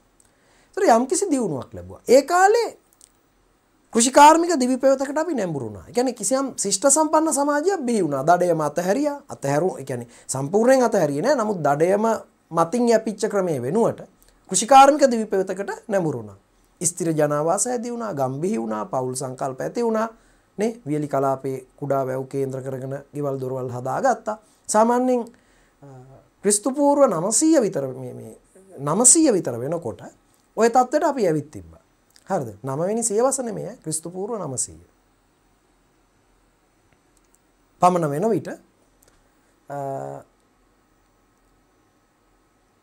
අපි වියලි කලාපයේ නිවාස හදාගෙන වැව් හදාගෙන ජනාවාස ව්‍යාප්ත කරලා තියෙනවා. හරිද? ඒ කාලේ වෙනකොට. ඉතින් පුතේ ඒ කාලේ ඇතුලේ අපිට හිටියේ ගම්වල ප්‍රධානියෝ පවුල්වල ප්‍රධානියෝ. නැත්තං පලාතක යම් ප්‍රාදේශීය නායකයෙක් හිටියේ. රජවරු හිටියේ නෑ අපි අන්නේ යුගය හඳුන්වනවා పూర్ව රාජ්‍ය සමය. ඒකට කියන්නේ මොකද්ද? పూర్ව රාජ්‍ය සමය. රජෙක් පහළ වීමට පෙර සමය. పూర్ව රාජ්‍ය සමය. ඒ කියන්නේ අපි යම්කිසි ශිෂ්ට සම්පන්න දියුණු වටපිටාවක් සහිත ජීවන රටාවකට කිසියම් දඩයම වෙනුවට යකඩ මෙවලම් භාවිතා කරලා ගොවිතැන් කරන ගම් දොර ගම් ගෙවල් දොරවල් හදාගත්ත යුගයකට අපි ආවා. හරිද? එතකොට ඒ යම් යම් දියුණුවක් ලැබපු යුගයක්. නේතොර ඒ යුගයේ ඒ රජෙක් හිටියේ නෑ. හැබැයි එවැනි යුගයක කිසියම් පාලන ක්‍රමයක් තියෙන්න ඕන. අන්න ඒකයි මට මෙතන කියන්න ඕන උනේ. හරිද? ප්‍රාග්යිතිහාසික යුගයේ එහෙම ක්‍රමයක් තියෙන්න නෑ. එහෙම ක්‍රමයක් තියෙන්න නැතුව ඇති. හැබැයි අපි යම්කිසි දියුණු යුගයකට ආවනේ ක්‍රිස්තු පූර්ව 2400 විතර ඉඳලා. අන්නේ එවැනි යුගයක යම්කිසි පාලන ක්‍රමයක් තියෙන්න ඕන. හැබැයි ඒ පාලන ක්‍රමය මොකක්ද ඇහුවොත් රජෙක් නෙමෙයි. රජෙක් පාලනය කරේ නෑ. පරුමකල පාලනය කරන්න ඇති. රජෙක් බිහිවීමට පෙර ඒ ප්‍රදේශවල බලය හිමි ප්‍රභූන් හිටිය පාලනය කරන්න. ධනවත් බලවත් ප්‍රභූන්. ඒගොල්ලෝ තමයි පාලනය කරේ. ඊට අමතරව ගමිකලා ගෘහපතියෝ හිටිය. එතකොට අන්න ඒ දේශපාලනය අපි හඳුන්වන්නේ පූර්ව රාජ්‍ය සමය රජෙක් බිහිවීමට පෙරපාලන සමය. රජෙක් බිහිවුණට පස්සේ යුගය වෙනයි රජෙක් බිහිවීමට පෙරයුගය වෙන පෙරයුගේත් යම් පාලනයක් තිබ රජෙක් නැතිවුණට පරුම කළ පාලනය කර. ඔය පරුම කලාතරින් අයෙක් තමයි ම පරුමුකා හරද. ප්‍රධානය බවට පත් වනේ ප්‍රමුඛ කියන්නේ ප්‍රමුඛයන්නේ පලාතේ ප්‍රමුඛයක්. ප්‍රමුඛයා. මපරුමුකා කියන්නේ ඕන් ඔක්කොගෙම ප්‍රධානිය. මහ පරුමක. හරිද? ඒ කියන්නේ ඒකෙන් අදහස් කරන්නේ පරුමකල ඔක්කොටම උඩින් ලොක්ෙක් පහළ වුණා. එයා තමයි අපි රජුරෝ කියන්නේ. ඉතින් ලංකාවේ රාජ්‍යයක් බිහිවීම සිද්ධ වෙන්නේ මහා වංශයේ තියෙන තොරතුරු විශ්ලේෂණය කරාම පණ්ඩුකාභය රජ සමයේ. විමධ්‍යගතව තිබූ බලය බෙදී තිබූ බලය එක් පාලනයක් වටා කේන්ද්‍ර වීම සිද්ධ වන්නේ කොයි කාලෙද? පණ්ඩුකාභය රජ සමයේ. බලන්න. ශ්‍රී ලංකාවේ රාජ්‍යත්වය ප්‍රතිස්ථාපනය වීම ආරම්භ වූයේ කවර රජ සමයකද? ආ ලියමු බලන්න.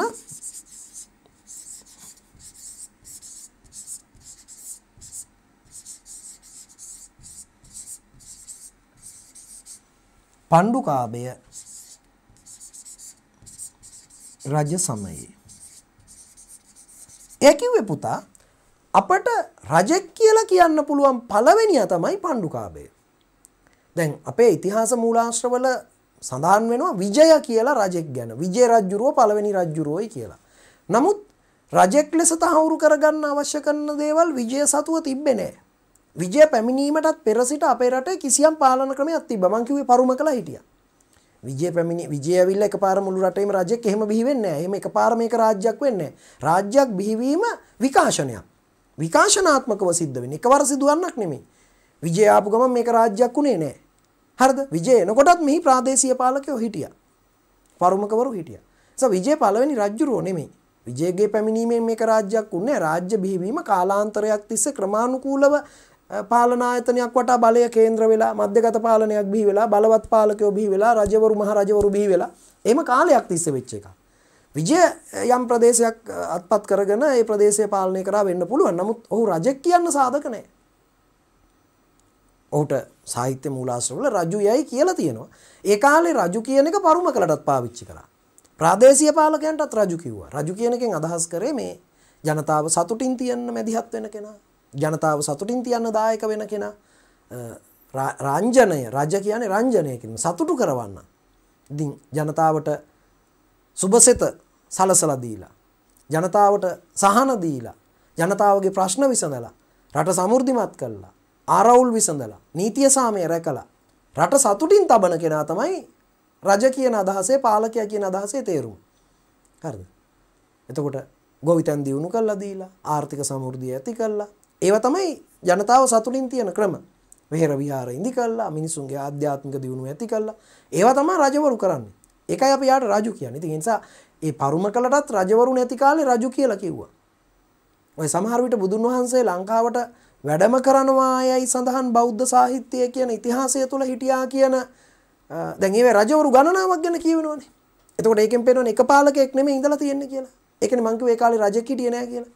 දැන් ඒවැ කියන චූලෝදර හිටිය නම් නාරජු හිටියලු මහෝදර නම් නාරජු හිටියලු මේ දෙන්න සහෝදරයවලු ඒ දෙන්න අතර ගැටුමක් ඇති වුණාලු. එතකොට මණියක්කිත නම් නාරජුගේ ආරාධනයෙන් ආවලු. සුමන සමන් නම් දිව්‍ය රාජයෙකු ආරාධනා කරාලු. පර්වත මස්තකයට වැඩම කරන ලෙස ශ්‍රීපාදය සමනල කන්දට. මේ මේවෙන් පේනවා පාලකයන් කීප දෙනෙක් හිටපු බව. පැහැදිලිද? එතකොට ඒ අනුව එයාලා රජවරු නෙමෙයි ප්‍රාදේශීය පාලකයෝ. පැහැදිලිද? ආ එතකොට විජය එනකොටත් එහෙම ක්‍රම තමයි තිබි. රජෙක් නෙමෙයි විජය. රජ කියන එක ප්‍රාදේශීය පාලකයන්ටත් කිව්වා. තේරුණාද? පොචනි රජ. දුහතර රජ ඕ සෙල්ලිපිවලත් ඔය වචන තියෙනවා ඒ අපි මේ කියන දුටුගැමුණු රජතුමා වගේ මුළු රටේම රජවරු නෙමෙයි හොයලා බැලුවාම මේගොල්ලෝ පරුම කළේ ප්‍රාදේශීය පාලකයෝ කියන එක ඒ විස්තර ඇතුළෙම තියෙනවා ඒ කියන්නේ පරුමකවරු හොඳද ආ එහෙනම් රජෙක් ලෙස ලංකාවේ සලකන්න පුළුවන් පළවෙනියා පණ්ඩුකාවය නමුත් ඒත් ඔහුත් පරිපූර්ණ රාජ්‍යයක් ගොඩ නැගුවේ නෑ ඔහු රාජ්‍ය බිහි කිරීමේ ආරම්භකයා බලය ඒක රාශි කිරීමේ ආරම්භකයා ඒක පරිපූර්ණ වෙන්නේ දුටු ගැමුණු රජ සමයේ. පරිසමාප්ත වෙන්නේ වසම රජ සමයේ. ඒ කියන්නේ එකවර රාජ්‍යයක් බිහි වුණේ නැහැ. ඒකයි මං කිව්වේ විජය රජෙක් නෙමෙයි කියලා. විජය ආපු සැනින් එයාගේ පාලන සමය ඔහුගේ ජීවිත කාලය ඇතුළත රාජ්‍යයක් වෙන්නේ නැහැ මේක. රාජ්‍යයක් වෙන්න ගොඩාක් දේවල් සම්පූර්ණ වෙන්න ඕන. පණ්ඩුකාවේ බලය කේන්ද්‍ර කරගන්න පටන් ගත්තා. එතකොට ඔන්න රාජ්‍යයක් බිහි වෙන්න අගනුවරක් පාලන මධ්‍යස්ථානයක් පාලන නගරයක් බිහි වුණා. ඔහුගේ පුතාගේ පුතෙක්නේ දේවානම් පියතිස්ස. එතකොට ඒ කාලේ තව පුළුල් වුණා, බලය වැඩි වුණා, රජුට තිබ්බ පිළිගැනීම වැඩි වුණා, ප්‍රාදේශීය පාලකයෝ ඔහු වටේ එකතු වුණා, ප්‍රාදේශීය පාලකයන්ගේ හිත දිනාගත්තා. අසල්වැසි රාජ්‍ය සමග අපේ රටට රටක් ලෙස පිළිගැනීමක් ආවා ඉන්දියාවේ අශෝක අධිරාජ්‍යයෙන් වගේ. එතකොට ඒ ඒ දේවානම් පියතිස්සගේ කාලේ. අපි ගත්තාම දුටුගැමුණු රජ සමය වෙනකොට මුළු භූමියේම බලය එක් පුද්ගලයෙක් වටා කේන්ද්‍රවීම සිද්ධ වුණා. එක්සේසත් වීම. අපි ඒ නිසා කියනවා මුළු රටම එක්සේසත් කරපු පළවෙනි පාලකයා දුටුගැමුණු. ඒතකොට දුටුගැමුණු රජතුමාට අපි කියන්නේ මහරජ ගැමුණු කියලා. එතකොට මේ සම්පූර්ණ වුණා කියන එකයි මේ මහ කියන වචනෙන් අදහස් කරේ. මහා රජු, මහා වංශය, මහා ಭಾರತය, මහා බ්‍රිතාන්‍ය, මහා සිංහලේ වංශ කතාව නේද? මහා සිංහලේ වංශ කතාව කියනකොට අපට ජැක්සන් ඇන්තනි මහත්මයාවත් මතක් වෙනවා. එතුමටත් අපි ඉක්මන් නිරෝගී සුව ප්‍රාර්ථනා කරමු මේ අවස්ථාවේ. ඒ වගේම පුතේ මහා සිංහලේ වංශ කතාව, එතකොට මහා චීන මහා ප්‍රාකාරය නේද? මේ මහා කියන වචන බලන්නකො. ඒතර මහා රජු, මහා පරාක්‍රම බාහු නේද? මහා වැව්. ඒව තියෙන ඒකෙන් අදහස් කරන්නේ පුළුල් බව, පෘතුල බව. නේ? පුතුල බව. නේ? මහා කියන සංකල්පය. බක් මහා උලෙල. එළයේ මහා මංගල්‍යය. නේ? බක් මහා උලෙල තරම් ලොකු උත්සවයක් හෙළයන්ට වෙන නැහැ. තේරුණාද? ඉතින් පුතේ ඒ ඒ වචනවල තියෙන අර්ථය ගත්තහම ඒකෙන් පේනවා ලොකු සංකීර්ණ භාවයක්. එතකොට දුටුගැමුණු රජුට අපි මහා රජු කියලා කියනවා.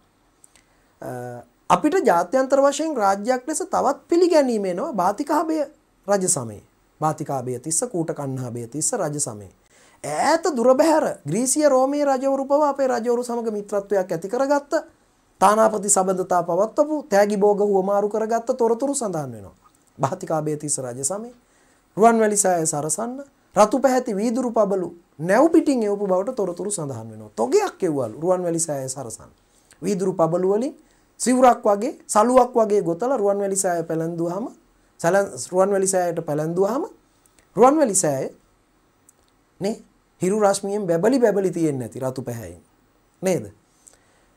ඒ වගේම බාතිකාබේ රජ සමයේ මෙරටින් ගිය නියෝජිතයන්ගෙන් අපේ රට ගැන තොරතුරු අසා වාර්තා කරපු බවට රෝම සාහිත්‍ය මූලාශ්‍රවල තියෙනවා නැචුරාලිස් හිස්ටෝරියා කියන කෘතිය.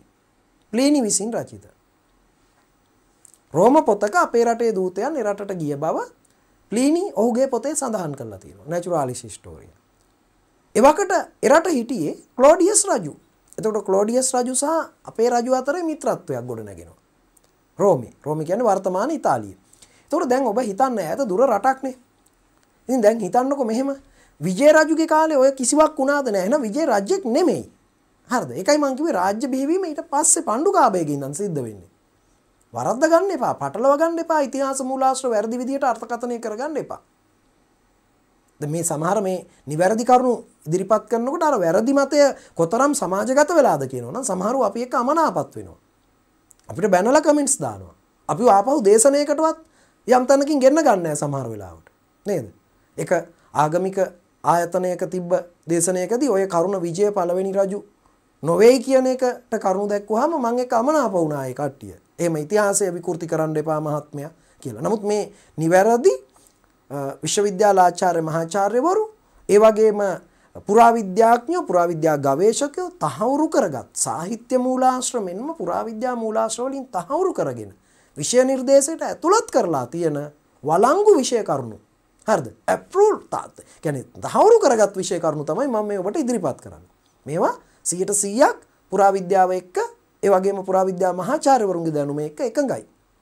ඒ නිසා බය නැතුව මේවා අධ්‍යයනය කරන්න තැනක ගිහින් බය නැතුව කියන්න. හරි දේවල් කියන්නේ නැතුව ඉන්න ඉන්න මොකද වෙන්නේ පුතේ? වැරදි දේම සමාජගත වෙනවා. වැරදි දේම හරි කියලා හිතාගෙන ඉන්නවා. ඒ නිසා වැරදි දේ ප්‍රතික්ෂේප කරලා හරි දේවල් කියන්න. කාලයක් යනකොට හරි පිළිගයි ඇත්ත කියලා. තේරුණාද? ඉතින් ඔහොම බිහි වෙච්ච රාජ්‍ය රාජ්‍ය බිහිවීමේ පරිසමාප්තිය දක්වා එන්නේ වසම රජුගේ කාලේ. ඒක සියල්ලෙන් සම්පූර්ණ වෙලා පරිසමාප්තිය වෙන්නේ. එතකොට දැන් ඔබට පේනවද පණ්ඩුකාභයගේ සිට වසම රජු දක්වා කාලාන්තරයක් තිස්සේ. හරිද? සියවස් ගණනාවක් තිස්සේ රාජ්‍යත්වය වර්ධනය වුණා මිසක්කා එකවර රාජ්‍යයක් බිහි වෙන්නේ නැහැ. දුටුගැමුණු රජු රාජ්‍ය බිහිවීම පරිපූර්ණ කරා වසම රජු පරිසමාප්ත කරා.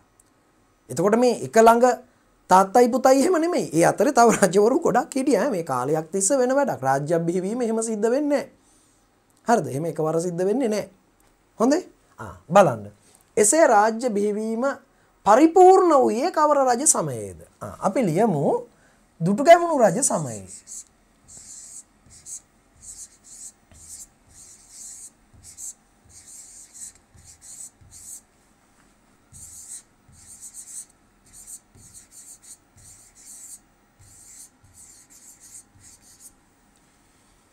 ශ්‍රී ලංකාවේ රාජ්‍ය බිහිවීම පරිසමාප්ත වූයේ කවර රජ සමයකද? ආ වසඹ රජ සමයේ.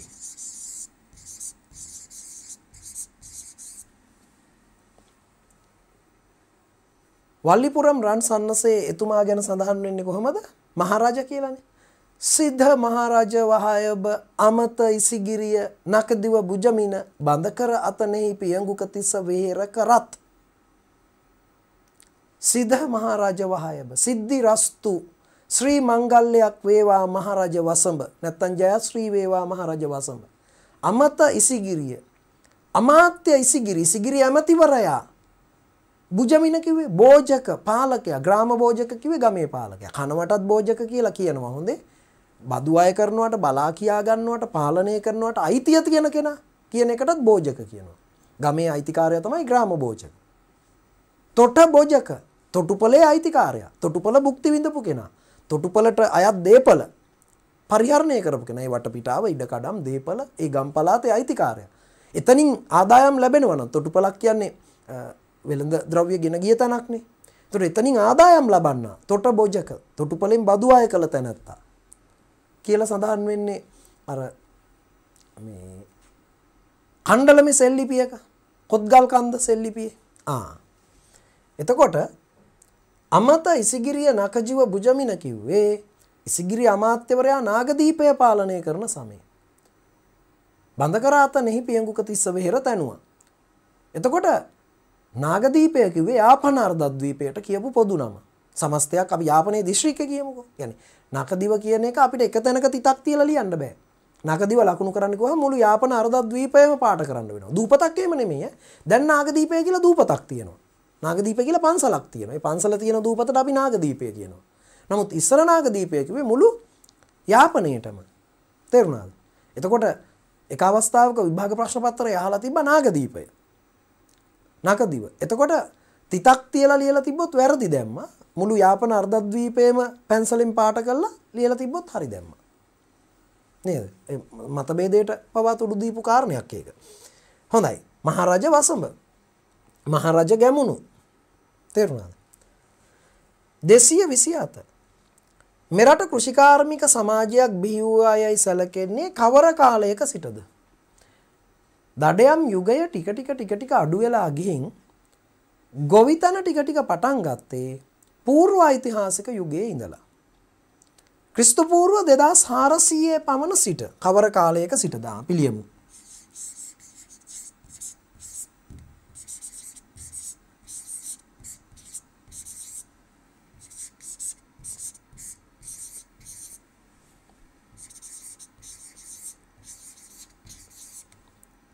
ලියමු. ක්‍රිස්තු පූර්ව 2400 පමණ. හොඳයි. යමු බලන්න තවත් ප්‍රශ්නයකට.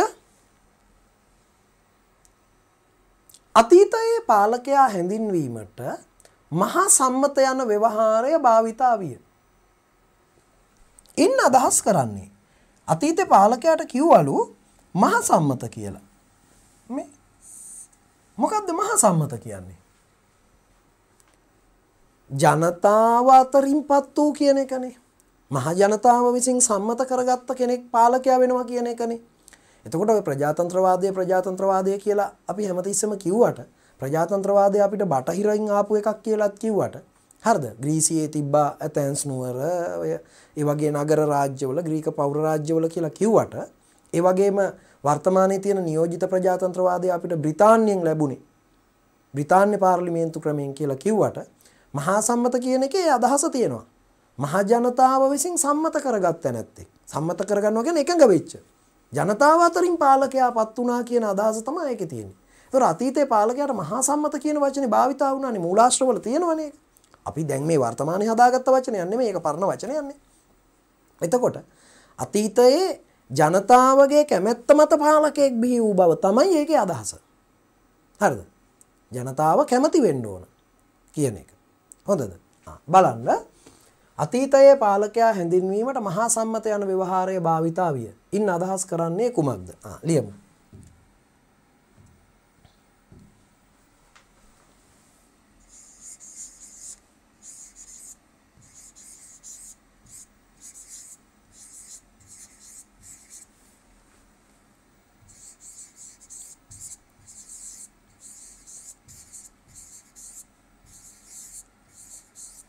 ජනතාවගේ කැමැත්ත මත පාලකයා පත් වූ බව.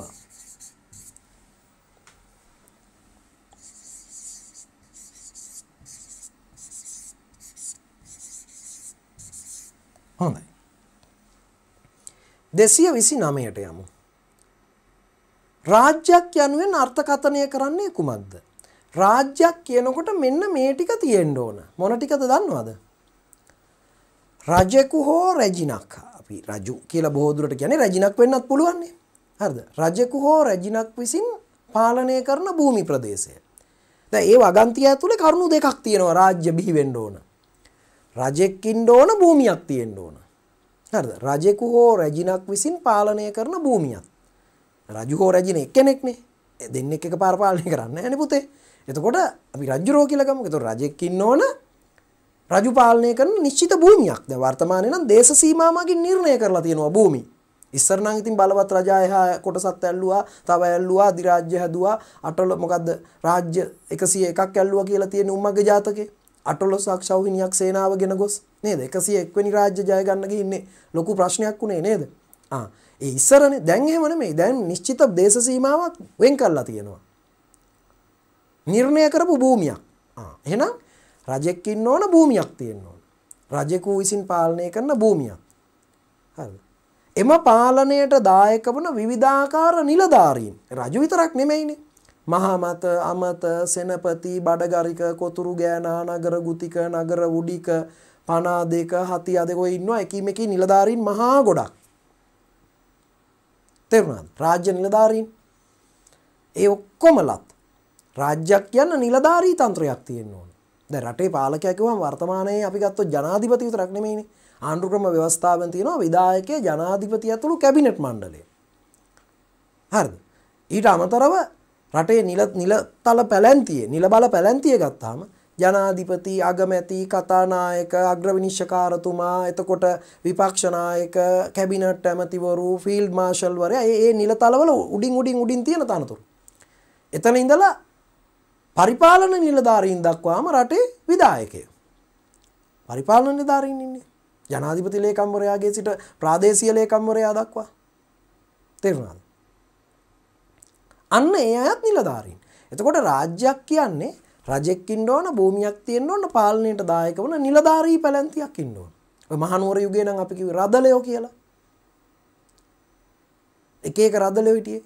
මහා අධිකාරම්, අධිකාරම්, දියවඩන නිලමේ ගජනායක නිලමේ අස්පන්තියේ මුහන්දිරම් ඇත්පන්තියේ මුහන්දිරම්. මොහොම කියලා හිටිය එක එක තනතුරු. නේද? සලු අඩන නිලමේ. නේ? උල්පැන්ගේ භාරව හිටියේ එයා. නේද? රජුට නාන කියන හෝදන පිරිසිදු කරන කටයුතු රජතුමාගේ. නේද? ආ එතන ඒ වගේ නිලධාරියෝ ගොඩක් හිටියා. නේද? දියවඩන නිලමේ. ආ. රයිට් රාජ්‍යයක් යනුවෙන් අර්ථකථනය කරන්නේ කුමක්ද? අපි ලියමු. රජු සමහර විට රැජිනක් වෙන්නත් පුළුවන් ඈ. රැජින පාලනය කරන භූමි ප්‍රදේශයත් එම පාලනයට දායක වන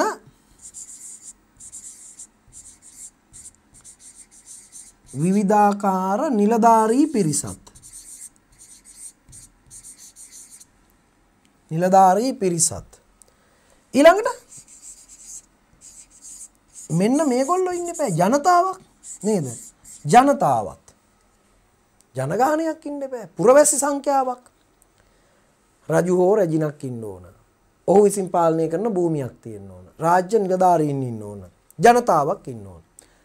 රාජ්‍යයට අයිති ජනතාවක් ඉන්න ඕන. එතකොට තමා රාජ්‍ය හැදෙන්නේ. පැහැදිලි නේද? ඔන්න ආය අහගන්න. රජු හෝ රැජින විසින් පාලනය කරන භූමි ප්‍රදේශයක්. එම පාලනයට දායක වන විවිධාකාර නිලධාරී පිරිසක්.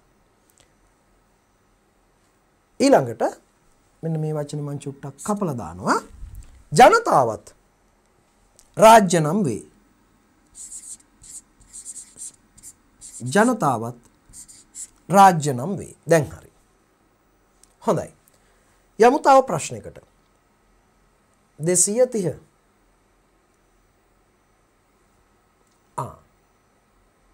මෙරට රාජ්‍ය බිහිවීම සඳහා අවශ්‍ය පසුබිම සකස් වූයේ ජනාවාස ව්‍යාප්ත වී කලකට පසු ටිකක් කල් ගියාට පස්සේ. එසේ රාජ්‍ය බිහිවීමට පෙර මෙරට පැවති කාලය හඳුන්වන්නේ. ආ දැන් මං ඉස්සල්ලා කිව්වනේ මොකද්ද? මෙරට රාජ්‍ය බිහි වුණේ එකවර නෙමෙයි. මං ඉස්සල්ලා කිව්වා. මොකද්ද කිව්වේ? මෙරට රාජ්‍ය බිහිවීම සඳහා අවශ්‍ය පසුබිම සකස් වූයේ ජනාවාස ව්‍යාප්ත වී කලකට පසු. හරිද? කාලයක් ගිහින් ජනාවාස ව්‍යාප්ත වෙනකොටම රාජ්‍ය බිහි වුණේ නැහැ. හරි? එතකොට ඊට පෙර රාජ්‍ය බිහිවීමට පෙර යුගය මොකද්ද? ඒ කාලේ රජු පාලනය නොකරට ප්‍රාදේශීය පාලකයෝ පරුම කළා, ගමි කළා, ඒගොල්ලෝ ඉන්නේ නැති. යම්කිසි පාලන ක්‍රමයක් තිබ්බා. හොඳද? ඒ යුගය අපි හඳුන්වන්නේ పూర్ව රාජ්‍ය සමය. ආ ලියමු.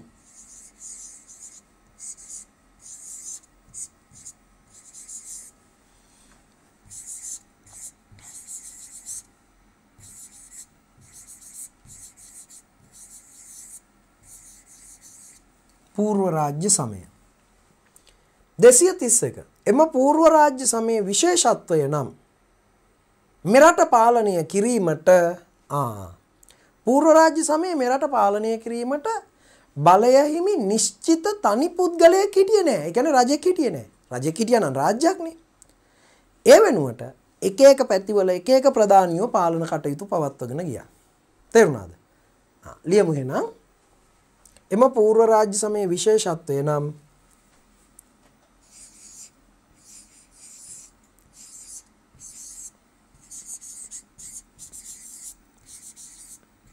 මෙරට පාලනය කිරීමට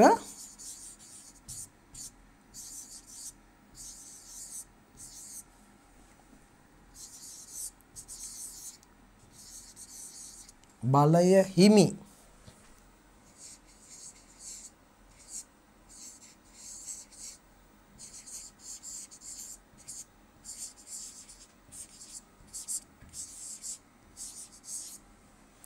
නිශ්චිත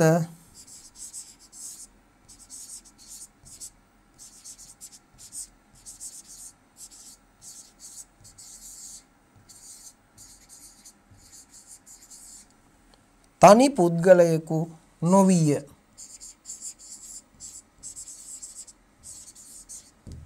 නිශ්චිත තනි පුද්ගලයෙකු නොවීය. මෙරට පාලනය කිරීමට බලය හිමි නිශ්චිත පුද්ගලයෙක් රජෙක් කියලා රටේම බලය හිමි පුද්ගලයෙක් හිටියේ නෑ. ඒ වෙනුවට එක එක පැතිවල එක එක ප්‍රධානියෝ විසින් ගෙන ගිය පාලනයක් තමයි තිබ්බේ. ඒගොල්ලෝ රජවරු නෙමෙයි ප්‍රාදේශීය පාලකයෝ. 232 ඒ වෙනුවට එක් එක් ප්‍රදේශවල පාලනය බල පාලන බලය දැරූ ධනවත් බලවත් ප්‍රභූන් විසූහ. ඔවුන් නම් ඒ වෙනුවට එක් එක් ප්‍රදේශවල පාලන බලය දැරූ කවුද හිටියේ මේ පාලන බලය දැරූ ධනවත් බලවත් ප්‍රභූන්. ඔවුන් නම් කවුද යාලා? මම මෙච්චරලා කිව්වේ ඒගොල්ලෝ ගැන තමයි. කවුද? පරුමක. සමහර විට සමහර පොත්වල පරුමුක කියලාත් තියෙනවා. ප්‍රමුඛයා කියන එක. පරුමුක. පරුමක. ප්‍රමුඛයා ඒකෙන් අදහස් කරේ පලාතේ ප්‍රධානියා කියන එක. පැහැදිලිද? ප්‍රමුඛ කියන වචනේ තේරුම. ඇතැම් අවස්ථාවල එම තනතුරු කාන්තාවන් විසින්ද දරා ඇත. ඔවුන් හැඳින්වූයේ කෙසේද? ජනාධිපති තනතුර කාන්තාවක් දැරුවහම ජනාධිපතිනී කියලා අපි කියනවා. රජු රැජින නේද? රජු කියන එක ස්ත්‍රීලිංග වෙනවා රැජි, රැජින, රැජිනිය නේද? නායක නායිකා නේද? සභාපති සභාපතිනී අකුරක් දෙකක් එහෙම එහෙ වෙනව නේද? ජනාධිපති ජනාධිපතිනී කටුස්සා කටුස්සී කියලා කියන්නේ නේද? දෙමලිච්චා දෙමලිච්චි කියලා එහෙම සමහරලාට නිකන් කියනකොට කියන්නේ හැම වෙලාවෙම එහෙම ස්ත්‍රීලිංග පද හැදෙන්නේ නේද? සමනලි නිකන් අපි කියනකොට නේ ඊ ප්‍රත්‍ය දාලා කියන්නේ නේද? හැම වචනෙට මෙහෙම ස්ත්‍රීලිංග හැදෙන්නේ නැහැ හොඳේ. දැන් අස්සයට එහෙම අපි එහෙම කියන්නේ නැහනේ. නේද? ආ මොනරට මොනරී කියලා කියනවා නමුත් එයාට වචනයක් තියෙනවනේ. මෙතනත් පරුමක තනතුරට අකුරක් එකතු වෙනවා. නේද? රජු රැජිනි වෙනවා වගේ පරුමක පරුමකලු නේද? අර එක සෙල්ලිපියක තියෙනවා තිස්ස නම් නැට්ටුවෙක් හිටියා කියලා. එයාගේ වෘත්තීය නර්තනයලු. හරිද? එයාගේ බිරිඳ පරුමකලු වරියක්ලු. ඒ කියන්නේ පරුමකලු කාන්තාවක්. නායිකාවක්. නේද? ප්‍රමුඛවරියක් කියන එක. සමනානම් පරුමකලු කියලා තියෙන සමනා. වර්තමානයේ සුමනා කියන නම වෙන්න පුළුවන්. නේද? සුමන කියන වචනේ බහුලව අතීතේ භාවිතා වෙලා තියෙනවා. පරුමක සුමන නේද? පරුමක සුමන පුත ගුත ලෙන කියලා එහෙම තියෙන්නේ. පරුමක සුමන පුත පරුමක ගුත ලෙන. එහෙමත් තියෙනවා. ඒතර සුමන කියන එකේ ස්ත්‍රීලිංග පදේ සුමනා නැත්තම් අතීතයේ සමනා කියලා භාවිතා වෙලා තියෙන්නේ. එන සමනා නම් පරුමකලු කෙනෙක් හිටියලු. ඒ කියන්නේ පරුමකවරියක්. එහෙනම් ඇතැම් අවස්ථාවල එම තනතුර කාන්තාවන් විසින්ද දරා ඇත. ඔවුන් හැඳින්වූයේ මොකක්ද නම? ඔවුන් හැඳින්වූයේ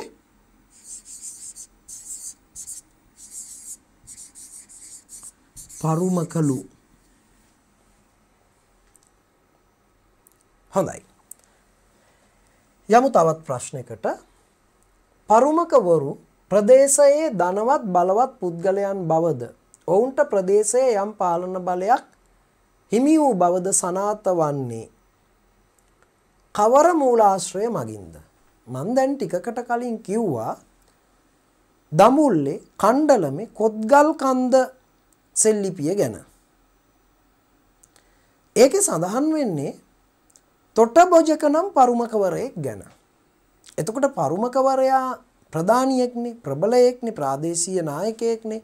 ධනවත් බලවත් පුද්ගලයෙක්නේ. පරුමක වෙන්නේ. දුර්වල පුද්ගලයෙක්ට පරුමක කෙනෙක් වෙන්න බෑනේ. අනිත් අය පාලනය කරගන්න බැරි නම් ගමට පලාතට නායකත්වය දෙන්න බැරි නම් නීති රීති අනපනත් පනව ගන්න බැරි නම් හරිද? අනිත් අය Tamanට අවනත නැත්තම් වැරදි කරපු මිනිහෙක්ට දඬුවම් දෙන්න බැරි නම් විපතකදී Tamanගේ ප්‍රදේශයේ පලාත බේරගන්න ඉදිරිපත් වෙන්න බැරි නම් මිනිස්සුන්ට ප්‍රශ්නයක් වුණාම පිටට වෙන්න එන්න බැරි නම් හරිද? සෙසු අය තම මතයට අවනත නැත්තම් අපි ඒ වගේ කෙනෙක්ට නායකත්වය දෙන්නේ නැහනේ.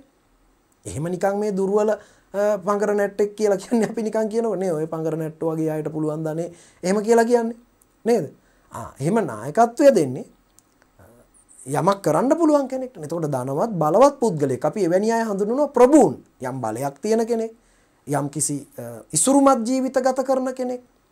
ඉසුරු මුනිය කියලා වචනයක් අහලා තියෙනව නේද? ඉසුරුමතුන් පැවිදි වුණා කියන එකනේ. එහෙම නැත්නම් සුඛිත මුදිත ජීවිත ගත කරපේ සුඛෝපභෝගී අය ධනවත් ජීවිත ගත කරේ. නේද? සුඛිත මුදිත ජීවිත ගත කරපුවා. ඒ වගේ අයට නිපුතේ යමක් කරන්න පුළුවන්. නේද? මේ මරහින් ගන්නෙක් වගේ මිනිස්සෙක් ගමේ නායකයා හරි පළාතේ නායකයා හරි කරගන්නේ නැහනේ. ඊට පස්සේ මේ මිනිසයාට පිට වෙන්න වෙනවා ගමේ මිනිසුන්ට. නේද? එයාගෙන් ගමේ මිනිසුන්ට පිටවීම කෙසේ වෙතත් නේද අන්තිමට යාව බේරගන්න නිගම මිනිසුන්ට ඒක නිසා එහෙම කෙනෙක් නායකය කරගන්න න විපතක් වෙලා ගම්වසිය ගිහිල්ල දුක් ගැනවිල්ලක් කිවොත් පිහිට වෙන්න පුළුවන් කෙනෙක් ගමේ මිනිෙක් වැරද්දක් කරොත් ගිහිල්ල මැදිහත් වෙලා දඩුවම් දෙන්න පුළුවන් කෙනෙක් අරුමක වෙන්න. නේද? එතකොට දම්බුල්ල කොත්ගල්කන්ද සෙල්ලිපිය සඳහන් වෙන්නේ තොට බෝජක නම් පරුමක කෙනෙක් මේ කරන ලද පූජාවක් ගැන. එතකොට අපිට ඕන කරන්නේ එයා කරපු දේ නෙමෙයි.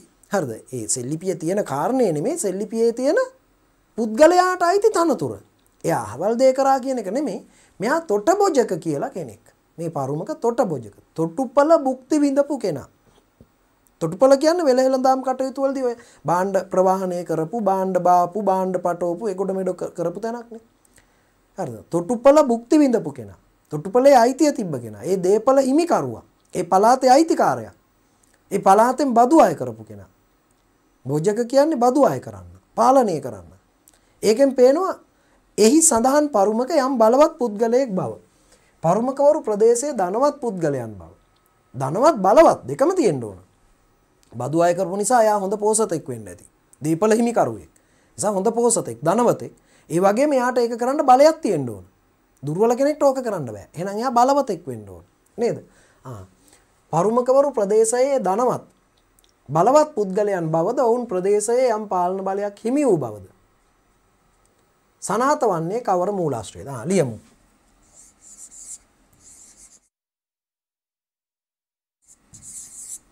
දම්බුල්ල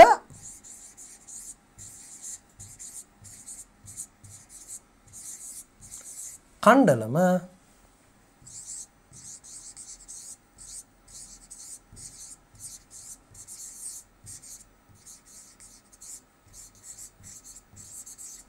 කොත්ගල් කන්ද සෙල්ලිපිය.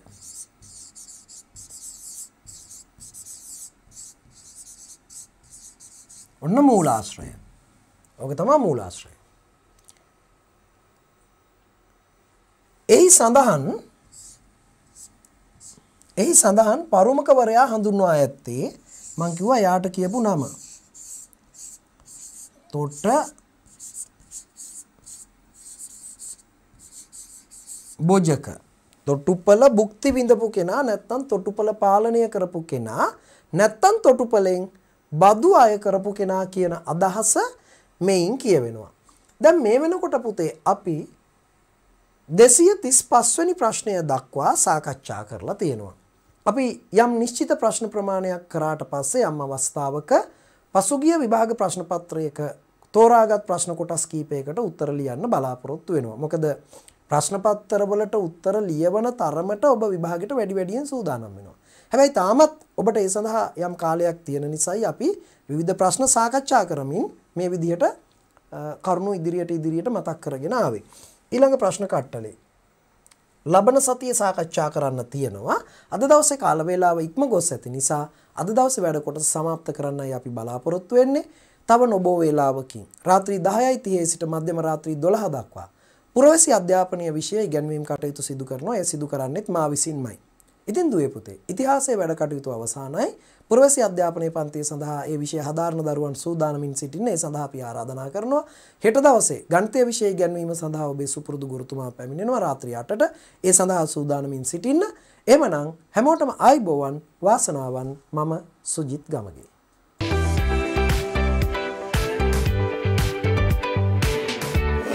ජීවින් තමයි නිරීක්ෂණය කරන්න යන්නේ. මං පුතාලට කිව්වා ක්ෂුද්‍ර ජීවීන් පියවි ඇහෙන් නිරීක්ෂණය කරන්න බෑ කියලා නේද පුතේ? මං ඔයගලන්ට කිව්වා අන්වීක්ෂය මං හඳුන්වලා දෙන්නම් කියලා. දෙදහස් විසි දෙක සාමාන්‍ය පෙළ විභාගයට සූදානම් වන ඔබ වෙනුවෙන්. DP එඩියුකේෂන් ගෙනේන පුනරීක්ෂණ සජීවී පන්තිමාලාව. ආරම්භය ජූනිමස දහතුන් වන සඳුදා සිට සතියේ දින හතේම රාත්‍රී අටේ සිට DP එඩියුකේෂන් YouTube නාලිකාව ඔස්සේ සජීවීව. සඳුදා පස්වරු අටේ සිට දහය දක්වා සිංහල ප්‍රදීප් රණතුංගාරච්චි ගුරුතුමාන්. පස්වරු දහයයි තිහේ සිට මධ්‍යමරාත්‍රී දොළහ දක්වා. නර්තනය සහ නාට්‍ය හාරංග කලාව සුරංග බොතේජු ගුරුතුමන්. අඟහරුවාදා පස්වරු අටේ සිට දහය දක්වා. ඉතිහාසය සුජිත් ගමගේ ගුරුතුමාන්. පස්වරු දහයයි තිහේ සිට මධ්‍යමරාත්‍රී දොළහ දක්වා. ඌගෝල විද්‍යාව ප්‍රදීප් රණතුංගාරච්චි ගුරුතුමාන්. පුරවැස්සි අධ්‍යාපනය සුජිත් ගමගේ ගුරුතුමාන්. බදාදා පස්වරු අටේ සිට දහය දක්වා ගනිතය වසන්ත වඩුගේ ගුරුතුමාන්. පස්වරු දහයයි තිහේ සිට මධ්‍යමරාත්‍රී දොළහ දක්වා චිත්‍රකලාව වසන්ත දොඩන්ගොඩ ගුරුතුමාන්. බ්‍රහස්පතින්දා පස්වරු අටේ සිට දහය දක්වා තොරතුරු හා සංනිවේදන තාක්ෂණය තාරක දුෂාන් ගුරුතුමාන්. පස්වරු දහයයි තිහේ සිට මධ්‍යමරාත්‍රී දොළහ දක්වා බටහිර සංගීතය ගංගා අබේනායක ගුරුතුමිය. සිකුරාදා පස්වරු අටේ සිට දහය දක්වා ඉංග්‍රීසි සුමින්ද දොඩන් ගොඩ ගුරුතුමාන්. පස්වරු දහයයි තිහේ සිට මධ්‍යමරාත්‍රී දොළහ දක්වා පෙරදිග සංගීතය ලලේන්ද්‍ර පමුණුව ගුරුතුමාන්. සෙනසුරාදා පස්වරු අටේ සිට දහය දක්වා විද්‍යාව අරෝෂ සමරතුංග ගුරුතුමාන්. පස්වරු දහයයි තිහේ සිට මධ්‍යමරාත්‍රී දොළහ දක්වා සෞඛ්‍ය හා ශාරීරික අධ්‍යාපනය අරෝෂ සමරතුංග ගුරුතුමාන්. ඉරිදා පස්වරු අටේ සිට දහය දක්වා ව්‍යාපාර හා ගිනුම් කරන අධ්‍යනය චතුරංග රණසිංහ ගුරුතුමාන් පස්වරු දහයයි තිහේ සිට දොළහ දක්වා බුද්ධ ධර්මය. රත්මලානේ රතන සිරිහිමි. සාමාන්‍ය පෙළ ජයගන්න ඔබත් DP එඩියුකේෂන් සමඟ එක්වන්න.